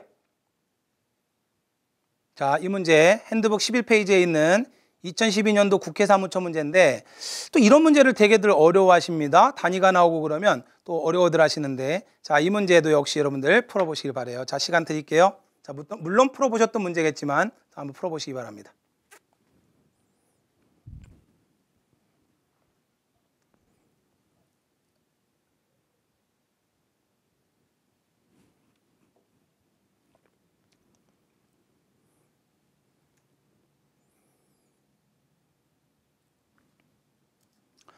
자, 정답 나오시나요? CPU의 클럭 주파수가 2GHz래요. 명령어당 평균 클럭의 수, 실행 클럭의 수는 한 클럭당 명령어 하나가 처리된다는 거잖아요. 그러면 2GHz니까 1초에 20억 번 신호가 발생하죠? 그러면 1초에 명령어 20억 개가 처리된다는 이야기잖아요. 1초에 20억 개 처리하는데 실행할 명령어의 수가 100만 개랍니다. 이 프로그램의 실행 시간은 얼마냐? 자, 어렵죠? 그러니까 결국은 무슨 소리냐면 이 2GHz인데 명령어당 평균 실행 클럭은 1이라 그랬으니까 한 클럭당 명령어 하나가 처리되는 거잖아요. 2GHz는 20억 헤르츠니까 20억 번, 20억 번 처리가 되는 거죠. 다시 말하면 20억 개의 명령어가 처리된다는 소리 1초에. 1초에 20억 개의 명령어를 처리하는데 100만 개로 구성된 프로그램을 실행하는데 몇 초 걸리냐는 이야기예요. 1초 넘어요, 안 넘어요? 안 넘죠.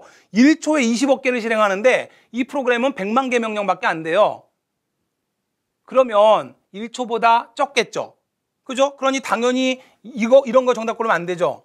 20억하고 100만인데 어떻게 0.5초가 돼? 이것도 아 이거보다 더 작을 거 아닙니까? 그렇죠? 음, 그러면 여기서 정답이 뭐냐? 이걸 찾아내시라는 이야기입니다. 자, 이것을 원래 이제 정확히 풀려면 이렇게 풀어야 되는 거 해설에 있듯이 예를 들어서 이러니까 20억 헤르츠고 그러면 20억 헤르츠라는 이야기는 하나의 신호 시간은 20억분의 1초죠. 또딱 1초에 20억 번 신호가 나오니까 신호 하나의 시간은 20억분의 1초 아닙니까? 자, 따라서 20억분의 1초가 소요된다. 명령어 수가 100만 개니까 20억분의 1초 곱하기 100만을 해서 자, 이렇게 계산을 해서 결국 0.5 나노세컨드라고 하는 이러한 계산 결과를 냈다는 이야기인데 시험장에서 이렇게 계산할 어, 이유가 있느냐. 이렇게 계산하지 않아도 된다. 원리만 아시면. 자, 우리 이런 거 배웠던 거 기억나십니까? 갈매기 털. 그리고 대응되는 자, 이 서로 대응 관계라 했죠. 천. 얘는 천분의 일. 메가는 백만. 마이크로는 백만 분의 일. 기가는 10억. 나노는 10억분의 일. 아직 여기까지 안 가니까 여기까지 몰라도 좋아요. 자, 그러면 이 시간의 대응 단위를 꼭 기억하셔야 된다라고 말씀드렸죠. 이게 응용돼서 나오면 또 여러분들 다 틀려요. 다시 말하면 1기가헤르츠라 그러면 1GHz라는 이야기는 이 CPU는 1초에 10억 번 신호가 발생하죠. 그러면 신호 하나당 시간은 10억 분의 1초죠. 10억 분의 1초라고 하는 단위가 바로 뭐예요? 나노세컨드. 따라서 1GHz다 그러면은 신호 하나당의 시간은 1나노세컨드가 되는 거다 이 소리예요. 이해되셨나요? 이 대응 관계를 꼭 이해를 하시면 이 문제를 어렵지 않게 풀어낼 수 있다. 굳이 굳이 이런 공식에 대입하지 않아도 그렇게 하지 않아도 쉽게 풀어낼 수 있다는 거죠. 2GHz니까 바로 나와야 됩니다. 자, 잘 들으세요. 2GHz, 1초에 20억 번 신호가 발생하죠. 20억 개 신호가 발생하죠, 1초에. 그러면 신호 하나, 하나당의 시간은 자, 기가에 대응되는 건 나노라 그랬으니까 nanosecond. 그러면 몇 nanosecond? 자, 빨리 답변하세요. 자, 2기가헤르츠라는 이야기 1초에 20억 번 신호가 나온다는 거예요. 그래서 조금 전에 설명드렸지만 기가에 대응되는 단위가 바로 nanosecond입니다. 1기가헤르츠다 그러면은 신호 하나의 시간은 1nanosecond예요. 1기가헤르츠라는 이야기는 10억 번 신호가 나온다는 거고 1nanosecond는 10억 분의 1초니까 자, 1초 동안 10억 개 신호가 나와요. 신호 하나의 시간은 10억 분의 1초. 그걸 1nanosecond라고 한단 말이죠. 그러면 2기가헤르츠면 몇 nanosecond? 자, 빨리 답변하세요. 오, 역시 우리 유상통 가족답습니다. 저는 2가 나올 걸로 생각을 했는데 전부 0.5. 그렇죠? 제대로 공부했어요. 이걸 2nanosecond라 그러면 안 돼요. 두 배 늘었잖아요. 1기가에서 2기가로 두 배 늘었죠? 얘는 시간이에요, 시간. 1nanosecond가 빨라요? 2nanosecond가 빨라요? 1나노 세컨드가 빠른 겁니다. 1초가 빨라요? 2초가 빨라요? 1초가 빠르지. 이건 시간 단위란 말이에요, 시간 단위. 숫자가 작을수록 빠른 거다라고 제가 분명히 말씀드렸죠. 따라서 10억 번에서 20억 번으로 늘어났으면 시간은 반으로 줄은 거예요, 반대로. 그러니까 0.5 나노세컨드가 되는 거죠. 그쵸? 아하. 자, 여러분들, 우리 잘 공부했기 때문에 이렇게 잘들 맞춰내시네요. 0.5 나노세컨드입니다. 됐죠? 자, 0.5 나노세컨드인데 그러면 신호 하나의 시간이 0.5 나노세컨드예요. 근데 100만 개의 명령을 처리한다 했잖아요. 100만 개. 근데 명령 하나 처리할 때 1클럭이라고 했으니까 여기다가 100만을 곱해줘야 되는 거죠. 그죠? 그럼 얼마 나와요? 50만이 나오죠? 자, 따라서 0.5 나노세컨드에다가 100만을 곱해주니까 자, 얼마가 나오냐면 50만 나노세컨드가 나옵니다. 1, 10, 1, 10, 100, 1000, 만, 10만, 50만 nanosecond가 됩니다. 이 문제 정답은 50만 nanosecond인데 근데 문제는 50만 nanosecond가 없어요. 어, 봤더니 millisecond로 전부 돼 있네?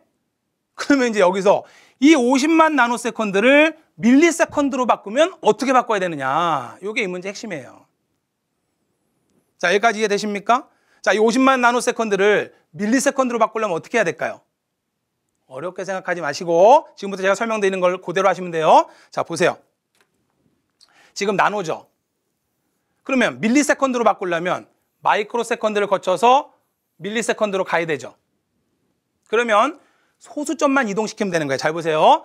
자, 요렇게 값이 있어요. xx 계속 이렇게 값을 써볼게요. 자, 이거 점 x, x, x, x 이렇게 있다고 해봐요. 그러면 소수점을 이동시킬 때 여기에서 밀리세컨드를 만들 때는 소수점이 여기 있잖아요. 요 방법대로 하시면 되는 거예요. 자, 요 놈으로 갈 때 세 칸 이동해요. 그대로 방향대로. 방향대로 세 칸 돌려요. 자, 마이크로에서 또 밀리로 넘어갈 때 저 방향으로 또 세 칸을 넘겨버리면 되는 거예요, 이렇게. 무슨 말씀이 이해, 이해 되세요? 자, 그러면 보세요. 지금 얼마가 나왔냐면 50만 나노세컨드가 나왔잖아요. 밀리, 마이크로, 나노. 속도가 이렇게 되잖아요. 얘를 밀, 마이크로로 바꿔야 됩니다. 그러면 지금 50만, 소수점 여기 있는 거잖아요. 50만. 정수니까. 50만 00000 있는 거 아닙니까? 그러면 이 소수점을 자, 요놈에서 마이크로로 바꿀 때 3개 옮기니까 얼마가 돼요? 50만 nanosecond와 같은 것은 얼마? 5, 자, 소수점이 여기로 오니까 500, 500 microsecond와 같은 거죠. 근데 microsecond가 없네? 그러면 소수점을 3개를 또 밀어버려요. 여기로 밀어버려요. 그러면 소수점 1위로 오죠? 아, 따라서 같은 값은 얼마? 0.5 millisecond. 됐나요?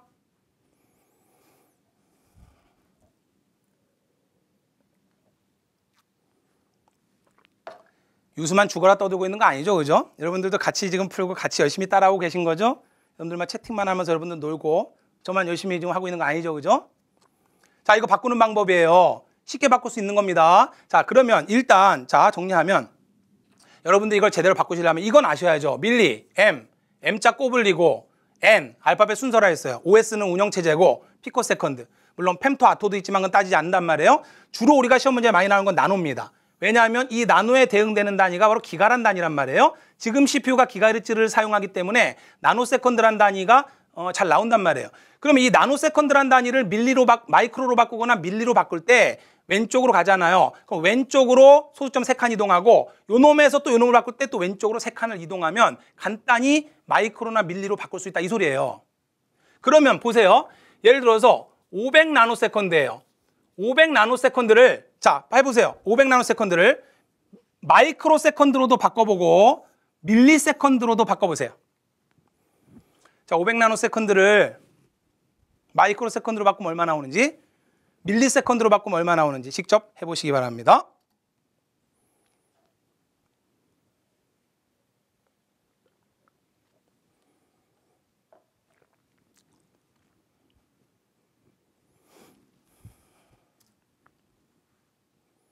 얼마 나와요? 자, 그대로 하라 했잖아요. 그대로. 나노를 나노를 밀리로 바꾸면 소수점 여기 있는 거예요. 500에. 그러면 여기서 세 칸 이동하라니까 왼쪽으로. 하나, 둘, 셋 이동하면 0.5. 자, 따라서 같은 값은 0.5 마이크로 세컨드와 같은 거예요. 됐나요? 그 다음에 만약에 나노로 바꾸면 또 어떻게 해야 돼요? 막 헷갈리신 분들은 여기다 0을 계속 쓰면 돼, 0을. 0을 계속 붙여도 이쪽으로 0 붙여도 아무 의미 없잖아요. 0을 붙여요. 0을 붙여놓고 여기에서 또 세 칸. 하나, 둘, 셋. 이렇게 이동하면 되는 거예요. 그러면 얼마가 돼버린다? 0.0005. 이 공공은 쓸 필요 없잖아요. 그죠? 자, 따라서 millisecond. 이해되었습니까? 자, 0.5 마이크로 맞추셨고 0.0005 밀리. 오케이. 자, 제대로 이해하셨네요. 반수정님. 그죠? 어렵지 않죠? 이게 시험장에서 여러분들 시험 문제 나오면 다 풀어놓고 밀리 마이크로 이거 변환을 못 해가지고 많이들 틀린단 말이에요. 그래서 제가 공식을 알려드리는 거예요. 자, 우리 배운 공식대로 요 순서만 딱 이해하시면 자, 주로 시험 문제 많이 나오는 거는 나노가 많이 나와요, 나노가. 그럼 이 나노 단위를 그럼 반대로 얘를 얘로 바꿀 때는 오른쪽으로 이동시키면 되는 거예요. 내가 나온 값에다가 500이라는 값이 나왔으면 여기다가 점이잖아요. 500이니까 500점이잖아요. 소점 여기 있는 거죠. 그럼 여기다가 0을 막 붙여 0을. 이쪽으로도 0을 막 붙여요. 막 붙여 막 붙여놓고 붙여놓고 예를 들어서 뭐 얘를 얘로 바꿔라 그랬으면 얘를 이리로 옮기면 되는 거고 요 놈을 얘로 바꿔라 그랬으면 이걸 이리로 옮겨버리면 되는 거고 방향만 결정한 다음에 세 칸씩만 이동시켜버리면 끝난단 말이에요. 아무것도 아닌데 이거 못해서 뭐 답을 못 찾는다니까? 할 수 있겠죠. 오케이. 이해되었다니까 넘어갈게요.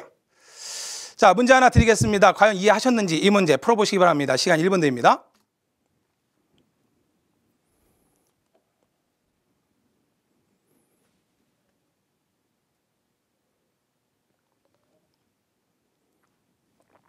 자, 풀어보시고요. 반수정님, 500ml라 그랬어요. 500ml. 500ms잖아요. 그러면 millisecond, microsecond, nanosecond잖아요. 소수점 여기 있는 거죠. 그러면 얘를 나노로 바꾸려면 마이크로 바꿀 때 어떻게 돼요? 자, 그러면 500에다 오른쪽으로 이동해야 되니까 500에다 점 찍은 다음에 여기다 0을 계속 써요. 0을. 막 써요. 이쪽은 얼마든지 써도 되니까. 써놓고 지금 밀 뭐라 했어 밀리라 했나요? 자 밀린데 마이크 나노로 바꾼다 그러면 밀리를 마이크로로 바꿔야 되잖아 세 칸 하나 둘 셋 여기로 오면 되는 거죠. 그러니까 얼마야? 1, 10, 100, 1000만, 10만, 50만 microsecond. 나노로 바꿔라 그러면 세 칸 여기다 갖다 놓으면 돼요 소수점을. 그리고 얘 그냥 지워버리면 되는 거예요 정수. 무슨 말씀인지 이해되셨습니까? 반수정님 이해하셨습니까? 오케이 두 번 이동이죠. 자, 이 문제 풀어보세요. 자, 원리를 알면 아무것도 아닌데 원리를 모르면 또 이런 것도 헷갈려요. 기억장치 접근 속도가 0.5 microsecond예요. 데이터 워드가 32비트래요. 한 번에 전송할 때 32비트를 전송하겠죠? 그럼 대역폭은? 자, 대역폭이라고 하는 거는 bit per second. 1초에 전송할 수 있는 비트 수죠. 그러니까 이렇게 됐을 때 최대 1초에 몇 비트를 전송하는지 구하라는 거예요. 자, 정답 나와, 나와야 되는데 몇 번일까요?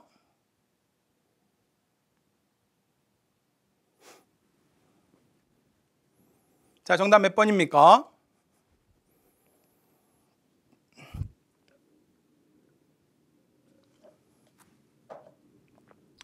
2번2번2번2번2번2번 16메가?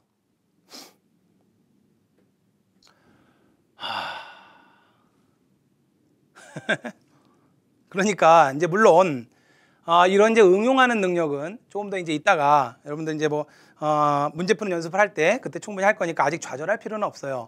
자, 이 문제 의미를 이해하시자고요. 우리 전에 어, 조금 전에 봤던 내용과 연결되는 거니까 한 기억 장치가 있는데 그 기억 장치 어느 위치로 딱 접근하는데 걸리는 시간이 0.5 microsecond래요. 그러면 0.5 microsecond라는 이야기는 0.5 microsecond라는 이야기는 자 보세요. millisecond죠. microsecond죠. nanosecond죠. millisecond의 의미가 뭐예요? 천분의 1초죠. 천분의 1초. microsecond의 의미가 뭐예요? microsecond의 의미가 100만 분의 1초죠. 100만 분의 1초.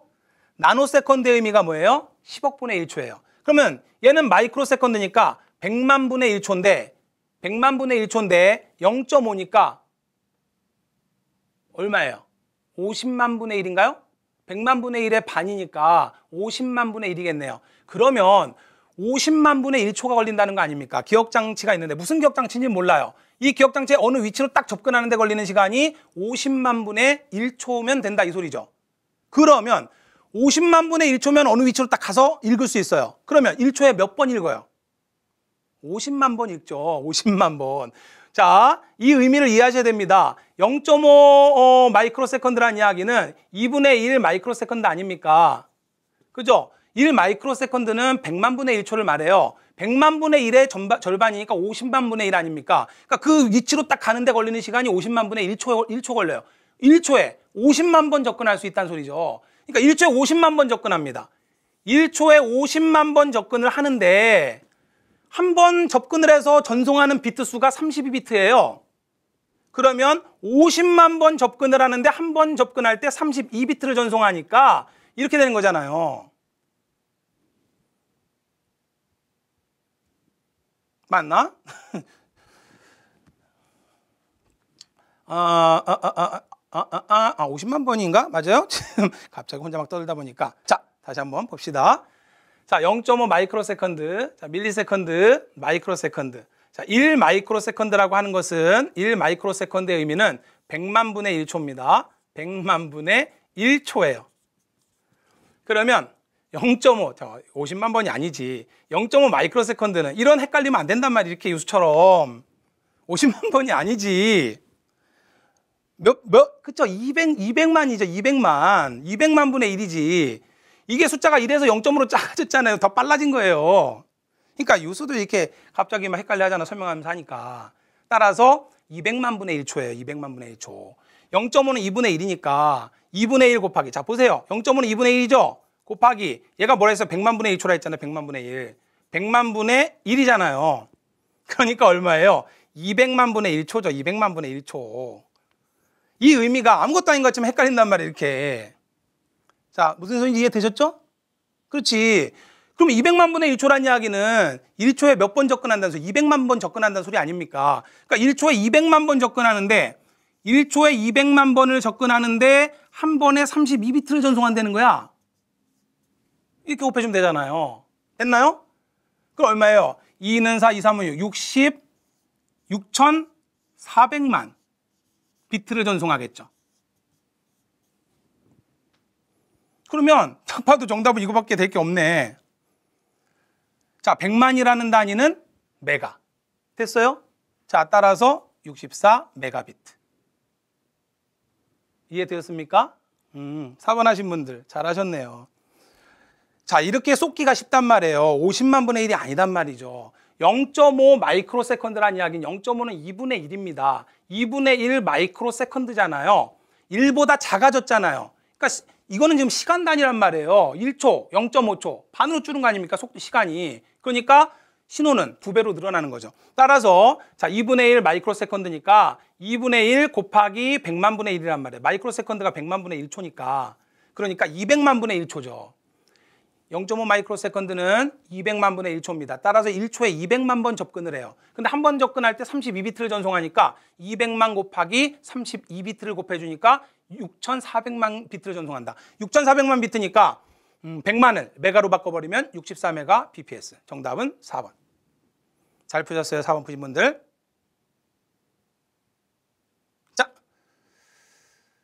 자, 중앙처리 장치로 넘어가겠습니다. 빠른 속도로 갈게요. 오늘 준비된 거 다 할 거니까 거의 다 끝났습니다. 자, 우리 교재 순서대로 자, 챕터 3 중앙처리 장치. 중앙처리 장치에 들어가 보면 RISC와 CISC 관련된 문제가 아직까지 계리직에 출제가 안 됐어요. 그렇기 때문에 CISC, RISC 구분하는 특징 이것들 암기할 필요 없다라고 말씀드렸습니다. 제 강의 들으신 분들. 자, reduce는 다이어트 한 거라 했잖아요. 그죠? 자, 다이어트 한 거. 이거에 따라서 쭉 연상해서 암기하는 법 알려드렸으니까 다시 한번 체크해서 여러분들 암기하세요. 자, 크게 어려운 문제 없을 거예요. 나머지 문제들은 여러분들이 직접 다 풀어보셔야 되겠고 질문이 많은 문제, 어려운 문제만 제가 풀어드리는 겁니다. 명령어로 들어갈게요. 이 문제 쉬운 문제인데 의외로 이 문제를 질문들을 많이들 하세요. 16개, 자, 국회 사무처에서 나왔던 문제인데 16개 일반 용도 레지스터를 갖는 32비트 RISC 프로세서가 있대요. 연산 명령어가 레지스터만을 사용한답니다. 3주소 지정, 지정 명령이래요. 레지스터를 사용하고 3주소 지정 명령인데 레지스터의 개수가 16개예요. 그러면 레지스터 하나당 주소를 할당할 때 4비트를 주면 되는 거잖아요. 16개의 레지스터, 레지스터니까 0000번 레지스터부터 111 1번 레지스터로 4, 4비트만 주면은 16개 레지스터를 구분할 수 있잖아요. 그러니까 4비트만 주면 된단 말이죠. 근데 뭐라고 했어요? 어, 3주소 명령이라 했잖아요. 3주소 명령. 3주소 명령이니까 레지스터가 주소가 3개가 와야 되잖아요. 레지스터 주소가 operand에 3개가 와야 되니까 얼마가 돼 버립니까? 12비트가 돼야 되는 거죠. 이해되셨나요? 아무것도 아닌데 이 문제를 어, 의외로 질문들을 많이 주십니다. 이거는 괜히 복잡하게 생각하면 괜히 더 어려운 문제예요. 전혀 그런 내용이 아닌 거예요. 그냥 16개의 레지스터가 있어요. 그럼 그 레지스터의 주소를 할당할 때 4비트를 주면 된단 말이죠. 그런데 3주소 명령을 사용한다고 했으니까 operand에 레지스터를 표시하는 주소가 3개가 와야 된단 말이에요. 근데 문제에서 명령어 코딩에 필요한 어, 총 비트 수 자, 연산명령어 레지스터만을 사용할 때 레지스터를 지정하기 위한 비트 수를 구하라는 거잖아요. operand 비트 수를 구하라는 거예요. 따라서 4비트의 3주소니까 4 3 12 해서 간단히 12비트를 구할 수 있는데 이걸 괜히 어렵게 생각하셔가지고 질문을 많이 하는 그런 문제였어요. 자, 다음 이 문제. 자, 이런 것만 나오면 여러분들 싫어들 하시는데 아무것도 아니잖아요. 컴퓨터 시, 어, 시스템의 명령 형식이 다음과 같고 당연히 op code와 operand로 구성되어 있겠죠. 명령어는 32비트 길이래요. operand 필드가 256 메가 워드 크기. 자, 이 문제는 요게 핵심이에요. 256 메가 워드. 제가 항상 본강의에서도 말씀드렸지만 256 메가 워드라고 이야기했으면은 여기에 생략된 거다. 뭐가 생략된 거다? 256 메가 개의 워드란 뜻이에요. 256 메가 개의 워드. 그러니까 이 워드라고 하는 기억 공간이 몇 개 있다는 소리예요. 256 메가개가 있다는 겁니다. 따라서 이 256 메가개라고 하는 요게 바로 주소의 개수가 되는 거죠. 그러면 뭘 구할 수 있다? 주소 비트를 구할 수 있다. 따라서 256은 얼마? 2의 8승 아닙니까? 메가는 얼마예요? 2의 20승 아닙니까? 키로 2의 10승, 메가 2의 20승. 오케이? 자, 따라서 얼마가 돼버려요? 2의 28승이 돼버리니까 아, 주소 비트는 28비트가 필요하구나. 이 의미만 알면 이 문제는 끝난 거잖아요. 256 메가워드. 그 말은 256 메가개의 워드 공간이 있다. 이 소리예요. 따라서 주소가 몇 개냐면 256 메가개가 되는 겁니다. 따라서 256 메가개의 주소를 표현하기 위해서 2의 28승 28비트. 그러면 전체 명령어 32비트 중에서 자, operand부가 28비트가 돼버리니까 op code는 몇 비트가 돼버려요? 4비트가 돼버리잖아요. 그러면 op code 4비트로 표현할 수 있는 명령어 개수는 몇 개가 됩니까? 자, 서로 다른 종류의 명령어는 4비트로 표현되는 명령 0000부터 111까지 몇 개? 2의 4승 16개. 따라서 정답은 1번. 풀어낼 수 있겠죠? 자, 오늘의 마지막 문제입니다. 어떤 컴퓨터 명령어 형식이 다음과 같다고 하자. 자, 이 컴퓨터에 사용할 수 있는 명령어 수와 접근할 수 있는 메모리의 최대 용량. 메모리의 최대 용량을 구하려면 요놈 가지고 구하는 거 아니에요, 요놈. operand부가 13비트라고 했어요. 근데 우리 컴퓨터 시스템은 기본적으로 한 바이트 단위로 주소가 할당되도록 되어 있단 말이에요. 문제에서 별도의 어떠한 언급이 없으면 한 바이트당 주소를 할당하는 것으로 문제를 풀면 되는 거예요. 따라서 이거를 무슨 30, 어, 이, 게 명령어가 16비트니까 0부터 15니까 이 명령어 길이가 16비트니까 16비트 2바이트를 워드로 봐야 되는 거 아닙니까? 뭐 이런 질문들을 가끔 하시는데 그런 조건이나 이런 언급 없으면 기본적으로 우리 컴퓨터 시스템은 하나의 1바이트라고 하는 셀 단위로 주소가 할당되도록 돼 있단 말이에요. 그렇다는 이야기는 자, 이 13비트로 주소를 할당했다는 이야기는 2의 13승계의 주소를 만들어낼 수 있는 거죠. 근데 하나의 기억 공간이 1바이트란 말이에요. 그러면 용량을 어떻게 구하면 됩니까? 2의 13승은 2의 3승 곱하기 2의 10승 아닙니까? 2의 10승은 키로가 되는 거고 2의 3승은 8이 되는 거니까 8kB. 따라서 표현할 수 있는 어, 메모리 주소, 메모리의 최대 용량은 8kB가 되는 거죠. 한 바이트당 주소를 할당해서 13비트를 어, 가지고 주소를 할당해 주게 되면 총 어, 8kB, 약 8,000개의 주소가 나온다는 소리예요. 됐나요? 자, 따라서 어, 메모리 용량 8kB가 되는 거고 그 다음에 명령어 수는 자 13비트, 13, 14, 15, 3비트를 줬잖아요. 3비트. 오피코드 3비트 줬으니까 명령어 수는 2의 3승 얼마? 8. 그냥 정답 그냥 나오는 거네. 그럼 얼마예요? 정답은 몇 개? 몇 번입니까? 음, 8kB 1번 되겠네요. 자, 3비트니까 이거로 명령어의 수 2의 3승 8 바로 나와야 되는 거고요. 13비트를 줬으니까 2의 13승계의 명령을 표현할 수 있다. 따라서 2의 13승계니까 2의 10승 곱하기 2의 3승. 따라 2의 3승은 8이 되는 거고 2의 10승은 K가 되니까 자, 한 바이트 단위로 주소를 할당했기 때문에 1바이트를 곱해주니까 8kB. 이거를 워드를 적용해서 여기다가 곱하기 2를 하고 이러면 안 된단 말이에요. 그런 거에 대한 조건이 없잖아요. 이해되었습니까? 오케이. 자, 이렇게 해서 이번 시간 우리 라이브 특강 두 번째 시간이었는데 음, 저는 열심히 떠들었는데 여러분들은 어떻게 잘 보셨는지 모르겠습니다. 혹시라도 유튜브가 오늘 불안합니까? 어, 마이크 시스템이나 이런 것들은 또 저희가 점검을 해서 어, 다음에는 더 나은 환경에서 여러분들 어, 강의 수강할 수 있도록 준비를 하도록 할게요. 자, 혹시라도 이게 뭐 끊겼거나 해서 못 보셨다면은 어, 제가 저 그 따로 또 바로 올려드릴 거니까 어, 나중에 강의에서 보시길 바래요. 자, 라이브 특강은 2주에 한 번씩 여러분들과 함께 하고 있고요. 음, 좀 더 본 강의보다는 조금 더좀 어, 부드럽게 그냥 어, 융통성 있게 여러분들과 대화도 하면서 어, 진행을 하고 있어요. 어, 궁금하신 부분 있습니까? 앞으로도 여러분들 알고 있는 거 맨날 여기서 떠들면 의미가 없잖아요. 그렇다고 또 너무 또 빠르게 진도 나가버리면 지금 시작하시는 분들 너무 힘들어들 하니까 아, 부분 부분 여러분들 질문 많은 문제 제가 알거든요. 어떤 어떤 문제들 질문들 하시는지 어, 그래서 어떤 부분들을 잘 이해 못 하시는지 그런 문제들만 앞으로 계속적으로 풀어갈 거니까 음, 나중에 어, 이 영상이 유튜브가 자꾸 좀 끊기는 것 같은데 어, 저장된 거 보시고요. 어, 뭐 궁금하신 거 있나요? 어, 테마 500제세로 구성되는 거는 조금 더 시간이 걸립니다. 문제 구성하고 해야 되는데 시간 걸리니까 어, 아직까지 문제풀이 들어가지 마시고 기출 해설까지만 여러분들 열심히 하시고 그리고 어, 문제풀이는 나중에 제가 시작하시라라고 할 때 시작하세요. 문제풀이가 중요한 게 아니거든요. 기출 문제 분석하는 게 중요하다. 쓸데없는 문제 백날 풀어봐야 아무 의미 없어요. 기출문제 한 번 더 분석하고 기출문제를 가지고 응용된 내용들 맞출 수 있게 하나하나 그걸 내 걸로 만들어가는 게 여러분들 중요한 거니까. 자, 이번 시간에는 이제 암달의 법칙을 이제 중점적으로 정리를 했습니다. 분명히 암달의 법칙은 조만간에 다시 출제가 될 거다라고 보이기 때문에 어, 완벽히 여러분 것으로 만드는 시간이 됐으면 좋겠고요. 자, 앞으로 2주에 한 번씩 계속 여러분들 어려워들 하시는 내용들 제가 계속적으로 어, 묶어서 강의를 진행하도록 할 거니까 여러분들 많이 또 응원도 해주시고 음, 요즘 좀 제가 어, 개별적으로 좀 바빠서 어, 뭐 시연어든 뭐든 하여튼 뭐 하여튼 하는 데까지 할 거예요. 지금 좀 정신이 없어서 답변이 조금 밀렸어요. 그래서 열심히 이제 답변 작업을 할 거고 아 올해 연초에 아주 제가 1년 동안 해야 될 액땜을 어, 다 액땜한 느낌입니다. 잘 넘겼고요. 어, 뭐 앞으로 어, 순탄하게 일들은 잘 진행될 거다. 액땜 다 했으니까 이렇게 생각을 하거든요. 아, 답변 조금 늦은 것들 빠르게 처리를 할 거고요. 자, 다음 주는 계속 이어서 갑니다. 이번 시간에 어, 우리 명령어까지 했으니까 명령어 뒤쪽에 또 계속 어, 우리 기출문제 문제 핸드북을 중심으로 자, 이 핸드북 오늘 한 문제 조금 전에 풀었던 문제 어, 몇 페이지인지 아실 거예요. 몇 페이지였죠? 조금 전에 풀었던 문제가 예, 17페이지까지 푼 거예요. 이제 다음 시간부터 이제 주소 지정 방식부터 해서 또 여러분들 질문 많은 문제들을 중심으로 해서 어, 조금 어려워하시는 내용들을 중점 정리를 계속해 나갈 겁니다. 그래서 시험이 뭐 7월 달에 있다면 가급적이면 7월까지 2주에 한 번씩 계속적으로 정리를 해드릴 거니까 뭐 제 강의를 수강하시든 강의를 수강하시지 않든 여러분들 어, 도움이 좀 됐으면 하는 바람이고요. 어, 열심히 해야 됩니다. 이 계리직이라고 하는 시험 뭐 그냥 한번 해봐야지 뭐 어디서 들으니까 이러한 뭐 직렬 이때더라 조금만 공부하면 뭐 된대더라 이런 쓸데없는 유언 뭐 감언이설에 현혹돼서 시간 낭비하시면 안 돼요. 기왕에 준비하실 거면 독하게 마음 먹고 독한 마음으로 어, 정말 피 터지는 싸움에서 이겨내셔야 합니다. 건강관리 유의하시면서 어, 다, 다다음 주 물론 이제 다음 주엔 또 여러분들 유파발에서 또 잠깐 뵙겠지만 음, 다다음 주 라이브 특강에서 또 인사드리도록 하겠습니다.